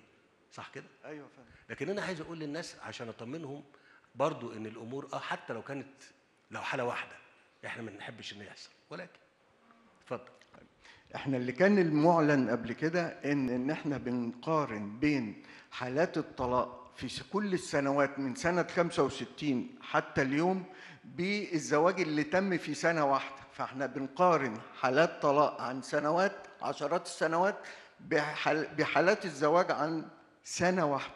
فده أدى لإيه؟ إن نسبة الطلاق تبان إن هي حوالي 36% 37% وده طبعا مبالغ فيه كتير. لكن جينا عملنا حاجة تانية قلنا طب الناس اللي بتتجوز في سنة كذا اللي اتطلقوا منهم في ذات السنة كام؟ طلع حاجة آه، 4% 4.5% بس أكتر سنتين فيهم طلاق السنة الأولى والسنة الثانية والسنة الثانية أكتر من السنة الأولى كمان. ثم تتخذ نسبة الطلاق في الانخفاض تدريجيا كل ما السنوات مرت. ده أدى إن إحنا بدأنا نحط الإحصائيات طب. وأنت بتقول دي بقى قول لهم إن أنت جبت متخصصين من الجامعة في علم الاجتماع وعلم النفس في اللي أنت بتقوله ده. أيوه يا فندم. إحنا جبنا كمان ال- اللجنة القائمة حاليا على إعداد قانون الأسرة استعانت بمجموعة استشارية. المجموعة الاستشارية دي فيها عالم نفسي شهير فيها عالم اجتماع عالمة اجتماع في عندنا عالم مالي وأيضا عدد من علماء الشريعة الإسلامية وعلى رأسهم فضيلة المفتي. الناس دي كل إجراء اتحط في القانون كان هناك القول العلمي بيقول إيه في هذا سواء في الاستضافة في الرؤية في الحضانة في كل شيء مبني على أساس علمي. بحيث ما يبقاش فيه للهوى أو لأي رأي أو أي تجربة شخصية حتى إن حد يتأثر بيها ويبقى إحنا بنحط أحكام موضوعية بالفعل لتنظيم مسائل الأسرة. أنا بشكرك وأنا حبيت أقول إن بدل ما تعمل مؤتمر صحفي إحنا عملنا المؤتمر والناس شايفانا شكرا. يعني اتفضل استريح. أنا أقصد أقول بده لما هو بيقول إيه بيقول إيه عشان ما يبقاش في تجربة شخصية وحضرتك تعممها يعني إيه تعممها يعني إيه تقول لي تروح بارزها كحالة وتقول لي لازم نعالجها. إحنا بنتكلم في استثناء لاستثناء لاستثناء الاستثناء الأولاني هو الزواج والاستثناء اللي بعده هو عدم يعني الطلاق يعني. ثم الاستثناء حتى في الطلاق هو الخلاف أثناء الطلاق. ما ممكن ناس في ناس كتير جدا أسر يعني بتبقى عندها قدرة إن هي تتجاوز الخلاف وتتفق وتبقى الأمور كلها ماشية بسلام. فهو انت بتعمل قانون اعمل حسابك انك انت بتعمل قانون لاستثناء لاستثناء لاستثناء وبالتالي ما تتكلمش على حالة واحدة على إنها حال هي ظاهرة. كده يعني أنا بتكلم على النقطة دي بالمناسبة الثلاث سنين في ناس سمعت مني الكلام دوت وقلت لهم إيه؟ فكروا إن أنتوا ما. يعني ما تخلفوش في أول سنتين ثلاثة فناس فكره إن أنا بتكلم كده عشان أنظم الإيه؟ الناس. لا. انت. البنت وال... والولد أو الشاب والشابة كانوا في بيوت أهاليهم. في كنف أسرة. أب بيشيل وبيراعي سواء كان للشاب أو للشابة. هم بقى راحوا البيت تاني خالص شكل تاني خالص. اديهم فرصة يعيشوا بس يتفقوا مع بعض ويقدروا يتحملوا مسار حياة لمدة سنة ولا اتنين. إن لقوا نفسهم قادرين. يخشوا على المرحلة اللي بعدها على الإنجاب. لقوا لا قدر الله مش قادرين. يبقى يعني التكلفة بتاعتها عليه وعليها في أقل ما يمكن.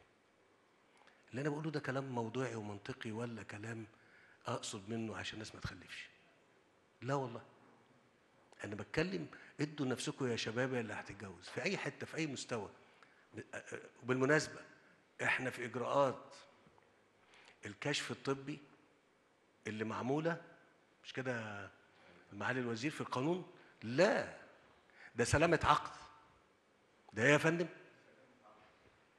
سلامة عقد عارفين يعني إيه سلامة العقد؟ أنت بتقول سلامة قدام سلامة سلامة شاب قدام سلامة آه، شابة صح كده؟ والعقد مبني على ليه؟ على الشفافية والمصداقية صح كده؟ وبالتالي كل ما العلم يتقدم ويديني فرصة أقدر أحقق في سلامة العقد دي أعمل إيه؟ لو ما عملتش يبقى أنا كدولة عملت إيه؟ قصرت ده منظور آخر مش منظور طبي أو مش منظور مثلا عشان الإعاقة أو عدم الإنجاب أو كلام من هذا القبيل أنا عايز أقول لكم ال- ال- النقاش اللي تم في الموضوع دوت نقاش عميق جدا جدا ومحاولة مننا كدولة إنها توجد حلول ويبقى بطرحها عليكم أرجو إن هو بنفس العمق اللي إحنا تناولنا بيه المسألة دي ما تاخدهاش من إيه تقول إيه كشف طبي بالطريقة ديت يعني الدكتور خالد كان بيقول لي ال- مش كده؟ بقول له كشف الطبي ده ده أنا ده أنا هخلي أو الكلام ده خطر أقوله ولا؟ لا بجد والله بجد بكلم بجد. قلت له ده أنا هخلي اللي يوافق لجنة برئاسة قاضي وتروح لها النتائج مميكنة عن طريق وزارة الصحة إلى القاضي ده في اللي هيدي تصريح سلامة ال- ال- التحاليل مش كده؟ حصل كده طب حد يقول له أنت بتعقدها بقى ولا إيه؟ لا لا لا لا والله ده أنا بطمن الأم والأب اللي هم عندهم أبناء خلي بالك وانت داخل على ده. إحنا بنعمل إجراءات الإجراءات دي الهدف منها هو أنتوا فاكرين الجواز ده حاجة بسيطة؟ ده أغلظ ميثاق. أغلظ إيه؟ أغلظ ميثاق بين الراجل وبين آه ففي قاضي والقاضي ده معاه دكاتره مستشار من عندكم يا دكتور خالد بيشوف الفحوصات ديت وبيؤكد وبيدي الإذن للمأذون إنه يعمل إيه؟ يوثق. إنه يعمل العقد. لأنه الاثنين هيبقوا شافوا بالظبط. مش كده يا دكتور؟ ولا أنا؟ آه. هيبقوا شافوا بالظبط الموقف واطمنوا وقبلوا بال بالنتائج ديت. ويتعمل العقد على كده. حد كتير يقولوا انت بتعمل ده مش خايف إن الناس تلجأ لحلق لأسلوب آخر. أقول والله إحنا أنا ك أنا أمام الله. بشرح وبأكد وبتكلم وبعدين بنحاول نعمل مسار هذا المسار يؤكد السلامة لأن هو بيقول كان يعني آه، اللي قاعد هناك ده الدكتور سعد الهلالي؟ ولا مش موجود معانا؟ كان بيقول من 1400 سنة آه، يعني سلامة سلامة ال يعني ال- ال- الزو- الزوجين. طب ده كان اللي موجود ساعتها كان المتاح من معرفة. كان موجود إيه؟ متاح من معرفة. طب المعرفة إيه؟ اتغيرت. اتغيرت واتطورت. بقى عندي فرصة أشوف أكتر. لدرجة إن أقدر أقول إن الإنجاب ده فرص لا قدر الله. إن يحصل فيه خلل أو عيب نسبتها كده. طب لو الطب عمل لي ده وأنا كدولة ما خدتش بيه ظلمت ولا ما ظلمتش؟ ظلمت. ظلمت حالة الزواج. ظلمت إيه؟ حالة الزواج. حالة الزواج يعني. ففي كلام كتير وناقشوا فيه واللي هتتفقوا عليه هيبقى هو ده اللي إحنا هن اتفضلوا استريحوا اتفضلوا استريحوا. معلش يا ايهاب خدتك في حتة تانية خالص. بس إحنا بنستفيد من الأوقات دي إن إحنا نتكلم مع الناس ونقول لهم ونشرح لهم الحكاية. يبقى نعمل بقى قناة السويس آه، صندوق ولا لأ؟ بالمناسبة الصناديق دي كلها ما حدش يقدر يصرف جنيه إلا ما يقول لي. وأنتم ما تعرفين الشاف الفلوس عاملة إزاي. يا نهار أبيض! كل يوم ما فيش عندي حاجة. الفقير ما عندوش غير إنه يخلي باله. الفقير إيه؟ ما عندوش غير إنه يخلي باله من كل مليم. في ناس ما تعرفش يعني إيه مليم. اتفضل. ليصبح إجمالي المصانع العاملة بالشركة 39 مصنعا. طيب. تحت أمرك. تحت أمرك.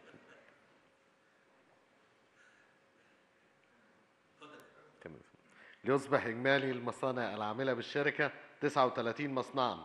وقد انعكست التوسعات السريعة للقاعدة الصناعية داخل الشركة على مؤشرات الإنتاج والتصدير. فقد تم تطوير مصنع مصانع الكلور المسال ليرتفع الإنتاج من 25 ألف طن إلى 50 ألف طن في عام 2021 مقارنة بعام 2015 كما تم تطوير مصانع الأسمدة المنتجة بالشركة. 2024 إن شاء الله يا فندم هيوصل ل 70 ألف طن. كما تم تطوير مصانع الأسمدة المنتجة بالشركة ليرتفع الإنتاج من 220 ألف طن إلى مليون طن عام 2021 أوصلوا لمليون و700 إن شاء الله. وزادت الكميات المنتجة من الغازات الطبية والصناعية من 16 ألف طن إلى 42 ألف طن عام 2021 بالإضافة إلى طرح 18 ألف طن من مادة فوق أكسيد الهيدروجين عام 2021 ولأول مرة في الأسواق المصرية من إنتاج الشركة.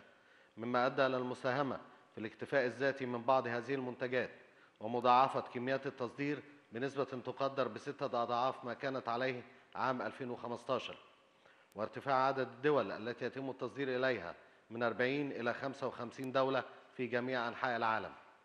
وانطلاقا من خطة الدولة في تطوير الخدمة الطبية بجمهورية مصر العربية ودعم منظومة التأمين الصحي بجميع محافظات الجمهورية ومواكبة مبادرات 100 مليون صحة وحياة كريمة وبناء على توجيهات سيادتكم بزيادة حجم إنتاج الأكسجين الطبي بجمهورية مصر العربية وبدعم ومتابعة مستمرة وحثيثة من سيادتكم.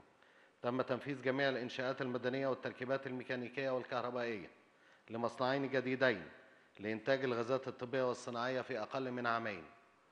واليوم تشرف شركة النصر للكيماويات الوسيطة بافتتاح سيادتكم لمصنعي الغازات الطبية والصناعية رقم 4 و5 بطاقة 60 ألف طن سنويا من الأكسجين ليرتفع إجمالي إنتاج الشركة من الأكسجين إلى 100 ألف طن سنويا وبزيادة القدرة الإنتاجية ستصبح الشركة قادرة على إمداد 280 مستشفى مقارنة ب 135 مستشفى بمختلف محافظات الجمهورية حاليا.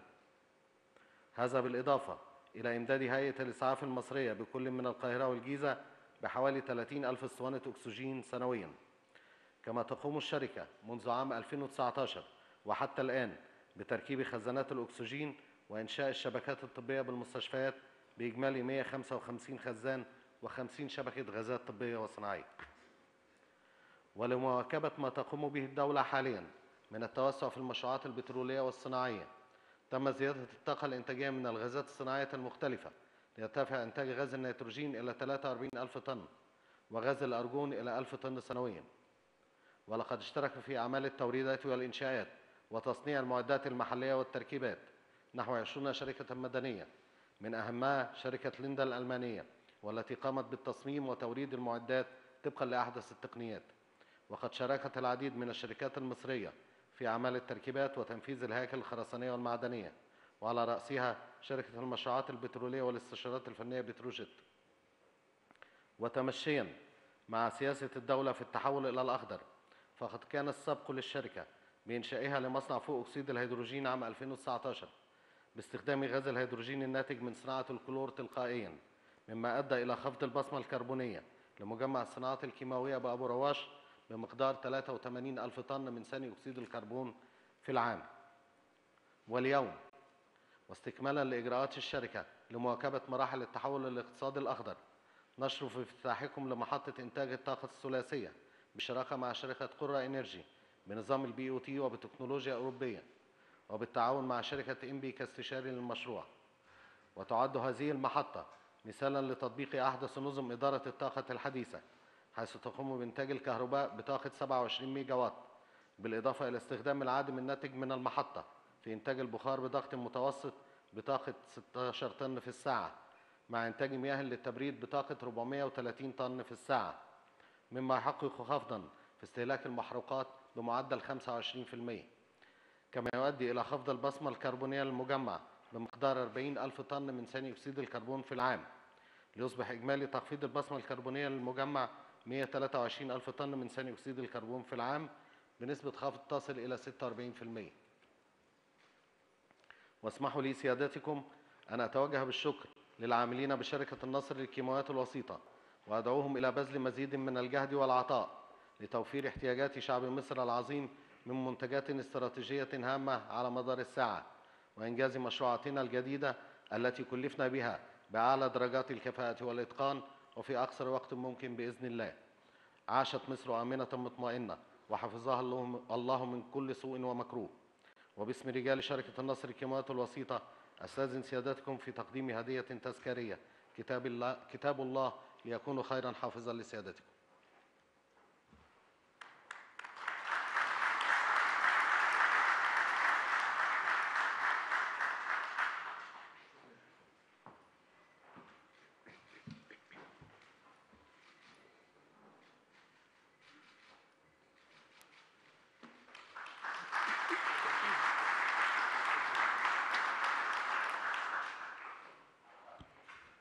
بس اوجه لهم الشكر وأنا آسف يعني. اتفضل. اسمحوا لي إن إحنا يعني في في نهاية ال- العرض دوت إن أنا أوجه الشكر لجهاز الخدمة الوطنية ولل والعاملين في الكيماويات البسيطة وبتمنى لهم التوفيق. وبقول لهم إحنا محتاجين جهدكم وأكتر من كده بكتير في إن إحنا نطلع منتجاتنا ال- اللي إحنا محتاجينها في مصر ما أمكن عن طريق ال- التخصصات اللي موجودة واللي تقدر الشركة تعملها. زي ما اتقال كده موضوع الأسمدة زي ما اتقال كده موضوع الكلور لأن إحنا بننمو في موضوع المحطات المعالجة و و- وأتصور إن الطلب على الكلور دايما بيتنامى زي ما الدكتور مصطفى يمكن كان بيقول وأيضا فيما يخص المستشفيات اللي إحنا محتاجين نمدها بال بالأكسجين برضه في نمو هيبقى نمو كبير جدا لما نستكمل الخ- الخطط أو الخطط اللي ماشية في موضوع التأمين الصحي. فإحنا محتاجين إن ده مش بس على قد اللي إحنا بنفتتحه لا على قد ان هو النمو المحتمل نكون إحنا مستعدين دايما نجابه. فأنا بوجه لكم الشكر وبتمنى لكم التوفيق وربنا يحفظكم و... وخلي بالكم قوي قوي من الإجراءات الأمنية و... و... وخلي بالكم من نفسكم. شكرا جزيلا. شكرا جزيلا. شكرا جزيلا فخامة الرئيس عبد الفتاح السيسي وظل دائما العمل الجاد والإخلاص في العمل بوحدة واحدة والتطوير المستمر وسرعة الإنجاز وبأعلى جودة هي معايير النجاح الدائمة لمشروعاتنا القومية في كل أنحاء مصر. شكرا جزيلا لحضراتكم وبستأذن سيادتك يا فندم في جولة تفقدية.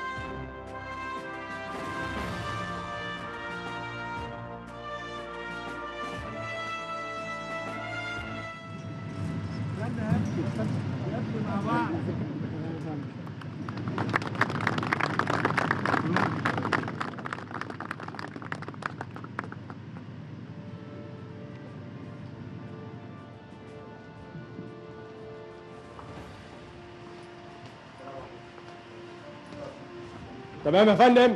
رائد زكريا السيد عبد الرحمن قائد غرفة التحكم الرئيسيه لقطاع الغازات الطبية والصناعية. أستاذ سيادتك يا فندم تقديم الغرفة.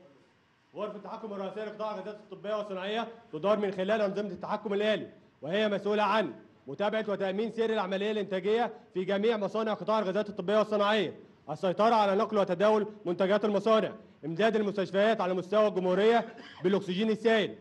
الغرفة تدار بواسطة طاقم مكون من عدد ستة أفراد بيعملون على مدار ال 24 ساعة بالنظام الورادي يعملون على عدد ستة شاشة. شاشة رقم واحد وبيتم من خلالها يا فندم متابعة سير العملية الإنتاجية في مصنع الغازات الطبية والصناعية. رقم واحد واثنين وثلاثة. مصنع رقم ثلاثة يا فندم سيادتك شرفتنا بافتتاحه في نهاية شهر أكتوبر 2019 وكان ليه دور كبير جدا في تخطي أزمة كورونا.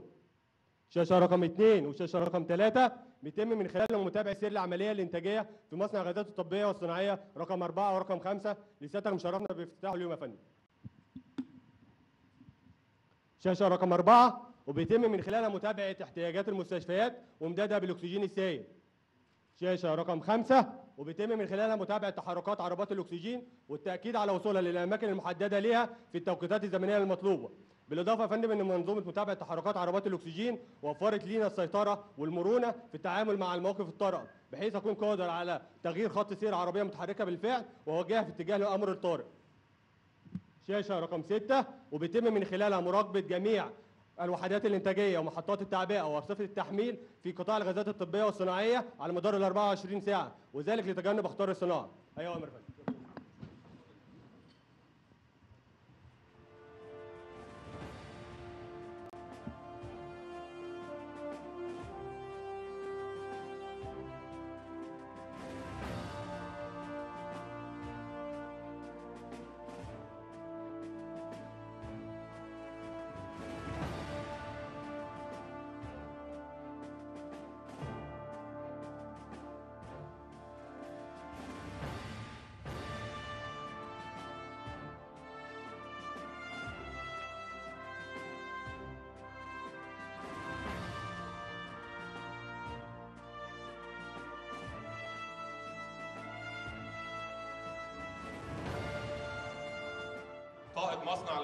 الغازات الطبية والصناعية رقم خمسة.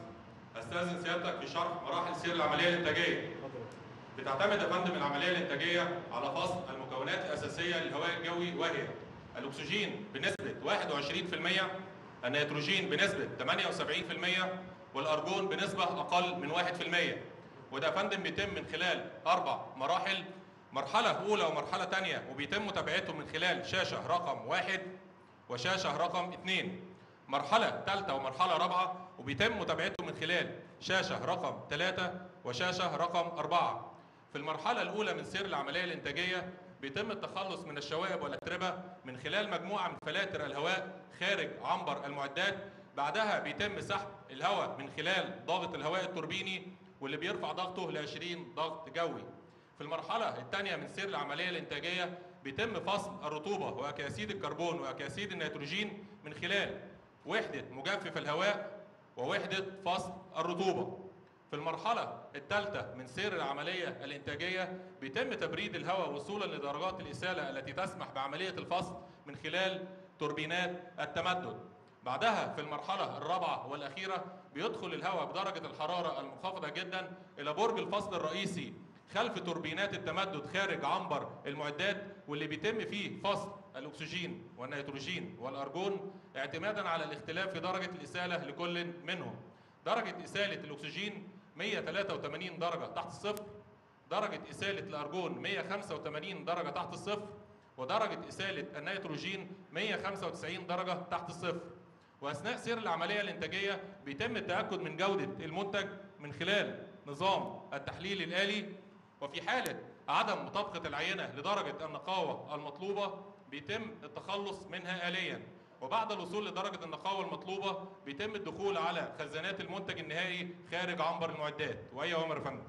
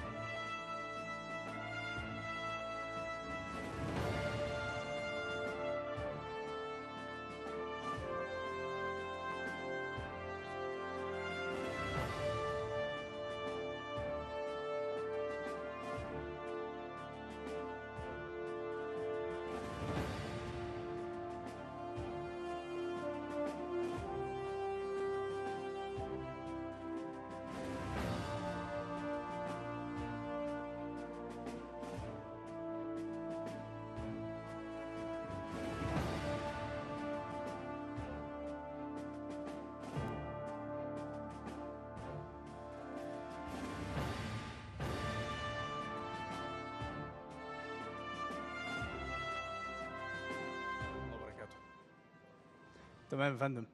محمد مدحت مدير التنفيذي عن وحدة آه، أعمال الطاقة والتوكيلات شركة قرى إنرجي. إحنا شركة مساهمة مصرية متخصصة في الطاقة والمقاولات هتشرف بالعرض على سيادتك آه، منظومة محطة توليد الطاقة الثلاثية ومكونات غرفة التحكم الرئيسية يا فندم. آه، هدف المشروع يا فندم وهدف المنظومة هو تعظيم الاستفادة من الغاز الطبيعي عن طريق يا فندم إن إحنا بنولد ثلاث أنواع من الطاقة في نفس الوقت. طاقة كهربية وبيتم استخدام المولدات عاليه الكفاءة ثم استغلال عوادم المولدات يا فندم في توليد آه، بخار ومياه مثلجة للعمليات الصناعية. وبكده يا فندم يبقى انتجنا ثلاث صور من الطاقة برفع الكفاءه الإجمالية لتوليد الطاقة يا فندم. آه، بالنسبة لغرفة التحكم الرئيسيه بتكون يا فندم من ثلاث مجموعات من وحدات التحكم. مجموعة رقم واحد يا فندم وهي المسؤولة عن التحكم في المولدات. مجموعة رقم اثنين يا فندم المسؤولة عن التحكم في مساعدات التشغيل للمحطة بالكامل. ده بالإضافة يا فندم إلى مجموعة ثالثة بتحتوي على العدادات اللي بتقيس آه، الطاقة المنتجة بالكامل والطاقة المستهلكة من شركة الناصر بالتزامن مع الشبكة الموحدة. إضافة يا فندم إلى مجموعتين من شاشات العرض. مجموعة رقم واحد يا فندم اللي بيحتوي على كل البيانات وأوامر تشغيل المولدات منظومة المولدات بالكامل. مجموعة رقم اثنين يا فندم اللي بتحتوي على بيانات وأوامر تشغيل منظومة الغلايات آه، وتقدر سيادتك يا فندم آه، آه، تطلع على مكونات المحطة من الداخل. محطة يا فندم من الداخل ده عنبر المولدات بيكون من ثلاث وحدات توليد كهرباء. الوحدة الواحدة يا فندم 9.5 ميجا وات قدرة كهربية. الإجمالي الطاقة أو القدرة الكهربية المولدة 27 ميجا وات الفكرة الرئيسية يا فندم إنه آه، بخلاف الطاقة المولدة من الكهرباء بيتم استغلال العوادم يا فندم من كل مولد. العادم يا فندم بدل ما يتم التخلص منه بدون الاستفادة الطاقة الحرارية اللي في العادم بيتم ربطها يا فندم ما بين المولدات. كل مولد مربوط على غلايات بحيث إن طاقة العادم دي يا فندم تكون مصدر تشغيل الغلايات وبالتالي نستفيد من الطاقة الحرارية في العادم في إنتاج 5.5 طن في الساعة لكل وحدة بإجمالي قدرة آه، من البخار 16 طن في الساعة بخار. وبيتم استهلاك جزء من البخار ده يا فندم في تشغيل وحدة تبريد آه، للعمليات الصناعية. سعة 430 طن تبريد. وبكده يا فندم يبقى انتجنا الثلاث صور من الطاقة من نفس مصدر الوقود. أوامر سيادتك. تحت امرك يا فندم.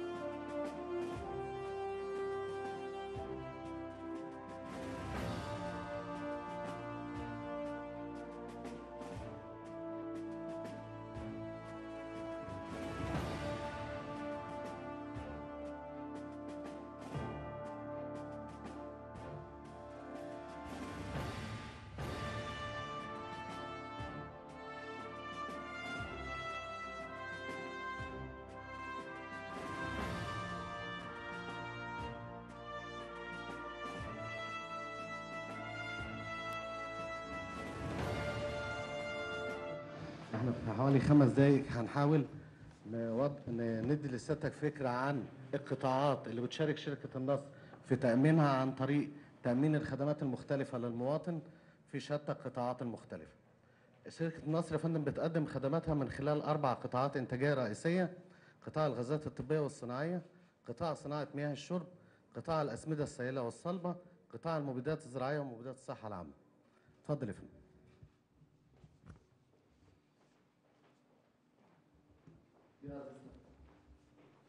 قطاع يا الغازات الطبية والصناعية شركة النصر بتقدم فيه خدمات توصيل الشبكات للمستشفيات سواء لغرف العناية المركزة أو غرف الرعاية الحرجة وده يا فندم شكل الخدمة اللي بتقدمها الشركة عن طريق نقل الأكسجين سواء السائل أو تقديم الاسطوانات لمراكز الإسعاف ودي عينات من المنظومات بتاعة الشبكات شركة النصر كمان يا فندم في خلال جائحة كورونا قامت.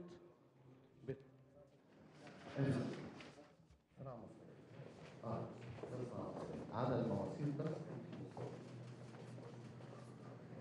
مطهرات جائحة كورونا شركة النصر قامت بتسجيل 10 مطهرات كان لهم اثر كبير في خلال جائحة كورونا.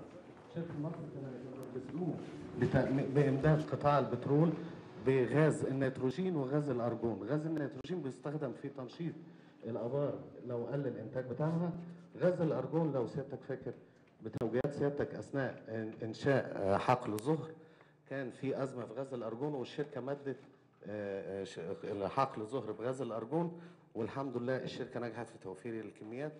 ودي صور يا فندم للناس وهي بتعمل عمليات اللحام تحت سطح المية بغاز. القطاع اللي بعد كده يا فندم؟ هو قطاع صناعة مياه الشرب وصناعه مياه الشرب مياه الشرب سواء كانت بالشبكه الصلبه أو الشبكه السائله الشركة كمان بتقدم توصيل منظومات حقن الشبكة لمحطات المعالجة. كانت كمان اسطوانات البلوغ لتغيير البلوغ بتاعتها وجبنا بالفنيين بتوعنا هنا. اللي إحنا بنشتري المادة الخام ونصنع البلوغ بتاعت اسطوانات الكلور ودي من خاصة جدا. كمان يا فندم بنقدم خدمة توصيل الكلور لغاية محطات الشرب لكافة محطات الجمهورية. إحنا كمان يا فندم بنأمن محطات الكهرباء بالصودا الكاوية وحامض الهيدروكلوريك اللي بيستخدموا في معالجة مياه التبريد المستخدمة في محطات الكهرباء.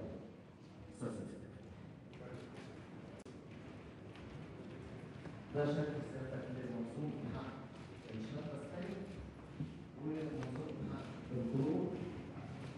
ومحطات المحطات اللي بتستخدم فيها في معالجة مياه التبريد. وكذا نروح على قطاع مهم جدا هو قطاع الاسمده الشركة. منصف بتاع المجمع الاسمده في السعوديه وخارج الشركة قطاع صناعه الاسمده عايشه فندم على صناعه الاحماض بانواعها المختلفه. إحنا بندي حمض مركز حمض وحمض ودي الاحماض الاساسيه لمختلف الصناعات بتاعه الاسمده. فاحنا كمان بنقدر ندي سماد الماء والباب والكريستال اللي هو السماد المخلوط بكل انواعه والاسمده البوتاسيه في صوره كبريتات البوتاسيوم. إن شاء الله يا فندم في شهر مارس اللي جاي يكون انتجنا اليوريا من اقراض إلى امونيا الجاي. كمان الشركة فندم عشان المشروعات العملاقة اللي بتتم في الدولة دلوقتي حاولت تواكب التوسع في الرقعه الزراعية وطرق الري الحديثه إنها تسجل أسمدة دوابة بالكامل وفصول سوائل وكمان منظمات نمو بأنواع مختلفة تقدر توفي باحتياجات الأرض الزراعية من نوع واحد من العناصر أو من أكثر من نوع بس بيبقى لها مردود اقتصادي أقوى بكتير على الفدان وكمان مستحق انها تبقى قليله جدا. اتفضل. بعد كده هو قطاع المبيدات الزراعية ومبيدات الصحة العامة.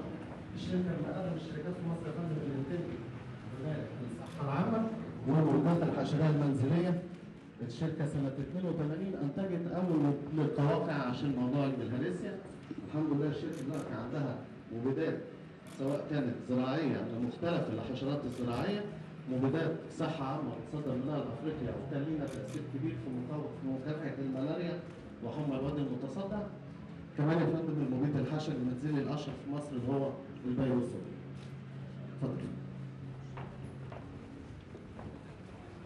الشركة من خلال معاملها فندم هو خدمة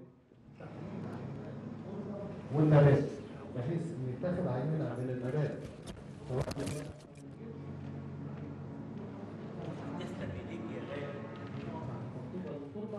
ونقدر نحدد كمان إذا كان محتاج نوع معين من المبيدات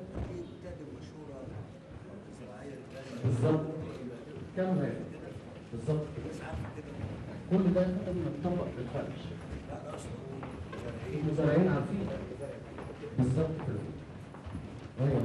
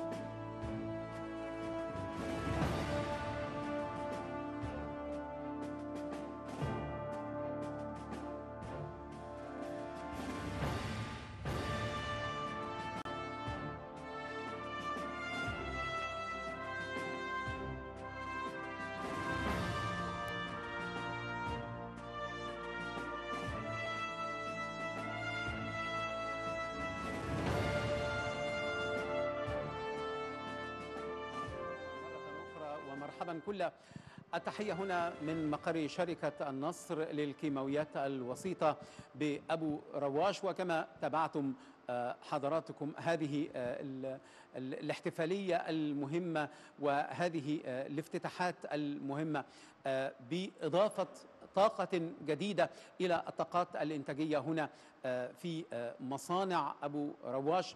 وأتحدث هنا عن 21 مصنعا لكن تضاف مصانع للأكسجين المسال وهو للغاية مهم كما آه، تابعنا.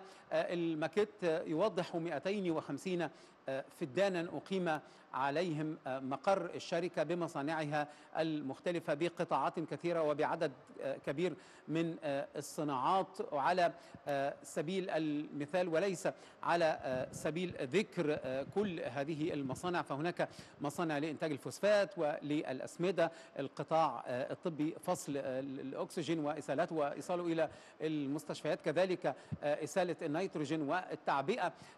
أيضا شركة النصر بتقدم آه، الحقيقة عددا آخر آه، من الخدمات وليس فقط الإنتاج. هي آه، بتسهم في تشغيل وتسهم في التركيب بعدد من المستشفيات شبكة ال- الغازات الطبية التي يتم إنشائها في عدد من آه، المستشفيات وعدد من المراكز الصحية سواء داخل القوات المسلحة أو في المستشفيات العامة. تسهم شركة النصر وهناك عدد كبير آه، منها مثل معهد ناصر وغيرها.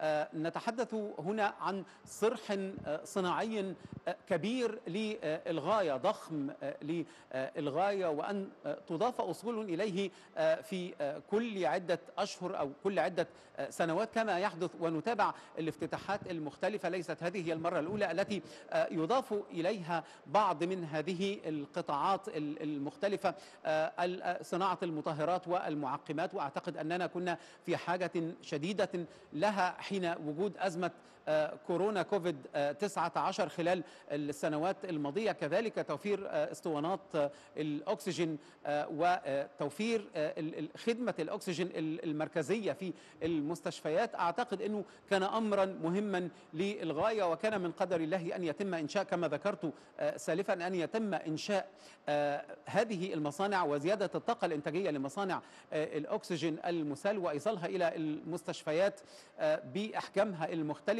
عام 2019 وذلك آه، قبل أزمة أو في بداية أزمة كورونا وأن يضاف كل هذا الاحتياطي آه، وأن يضخ في قطاع القطاع الطبي المصري وذلك الجائحة يعني لمواجهة الجائحة التي كنا آه، يعني بحاجة شديدة لأن ننجح في مواجهتها وقد آه، حدث ذلك بالفعل. كان من تقدير المولى عز وجل أن يتم الإنشاء في هذا التوقيت وأن تصير جائحة كورونا بعدها ربما بأسابيع أو بأشهر آه، قلائل ويعني هكذا مرت الأمور. الحمد لله بسلام على آه، مصر المحفوظة المحروسة اليوم آه، بيضاف رصيد آخر إلى هذا القطاع وأعتقد أنه التوسع في القطاع الطبي مهم للغاية. آه، القطاعات ال- المختلفة يعني لا يمكن فصل قطاعات عن آه، بعضها ال- ال- البعض. القطاع الصناعي والقطاع الطبي والقطاع الزراعي كلها قطاعات مهمة. قطاع التعليم طبعا آه، وهناك قطاعات أساسية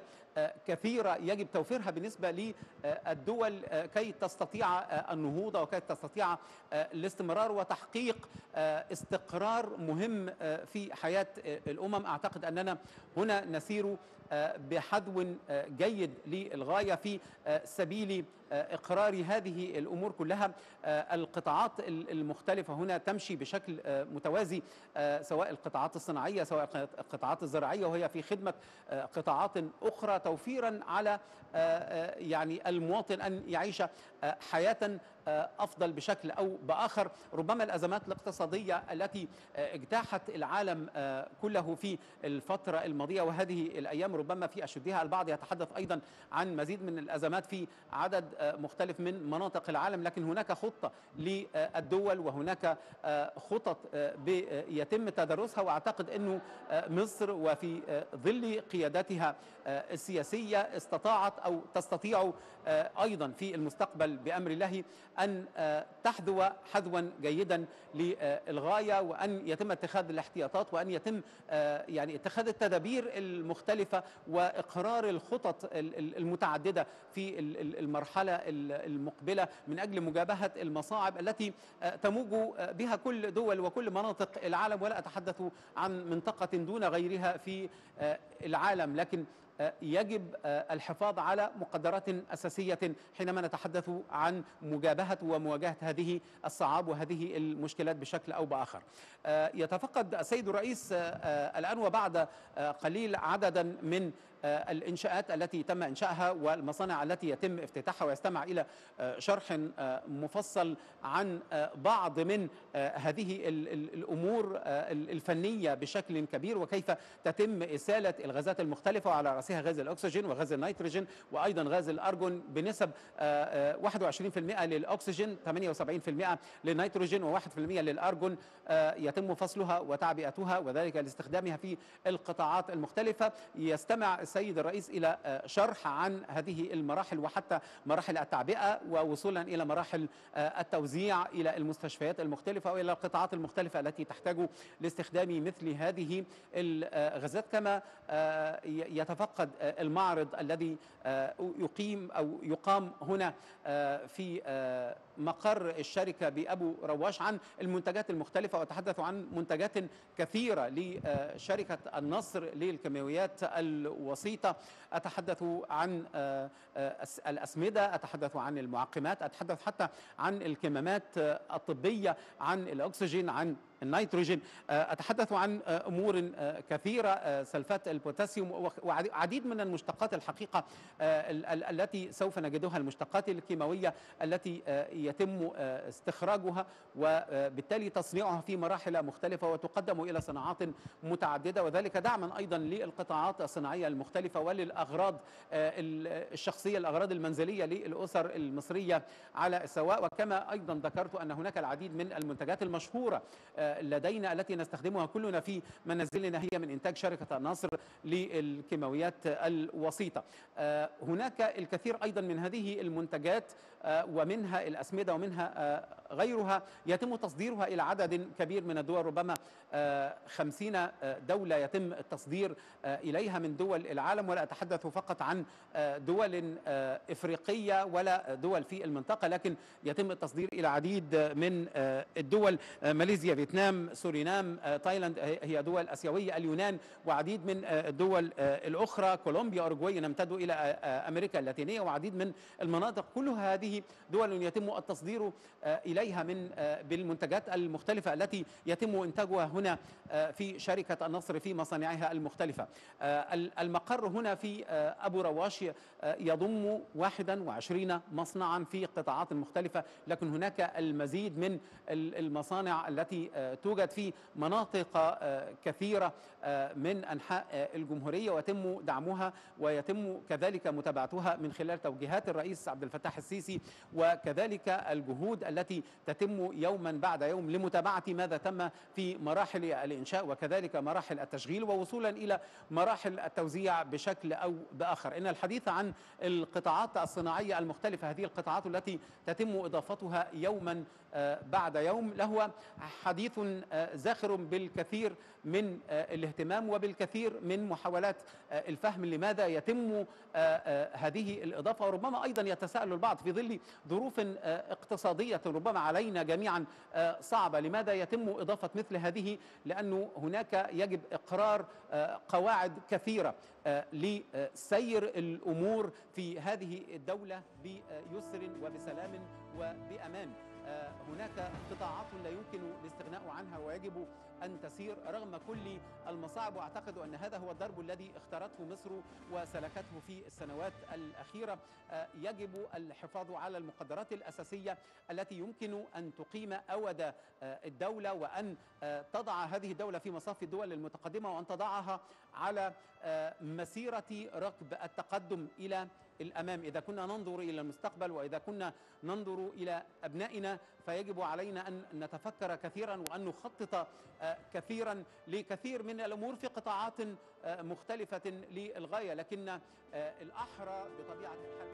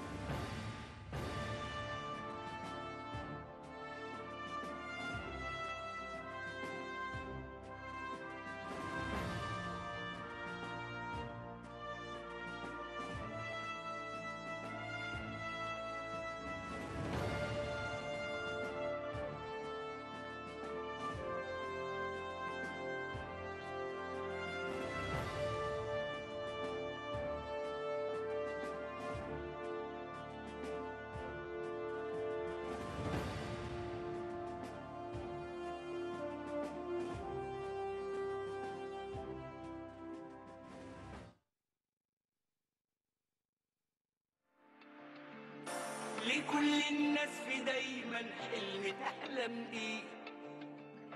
وأنا كان حلمي على قدي ونفسي أعيش. ولما رميت عليك حملي شاركتني فيه.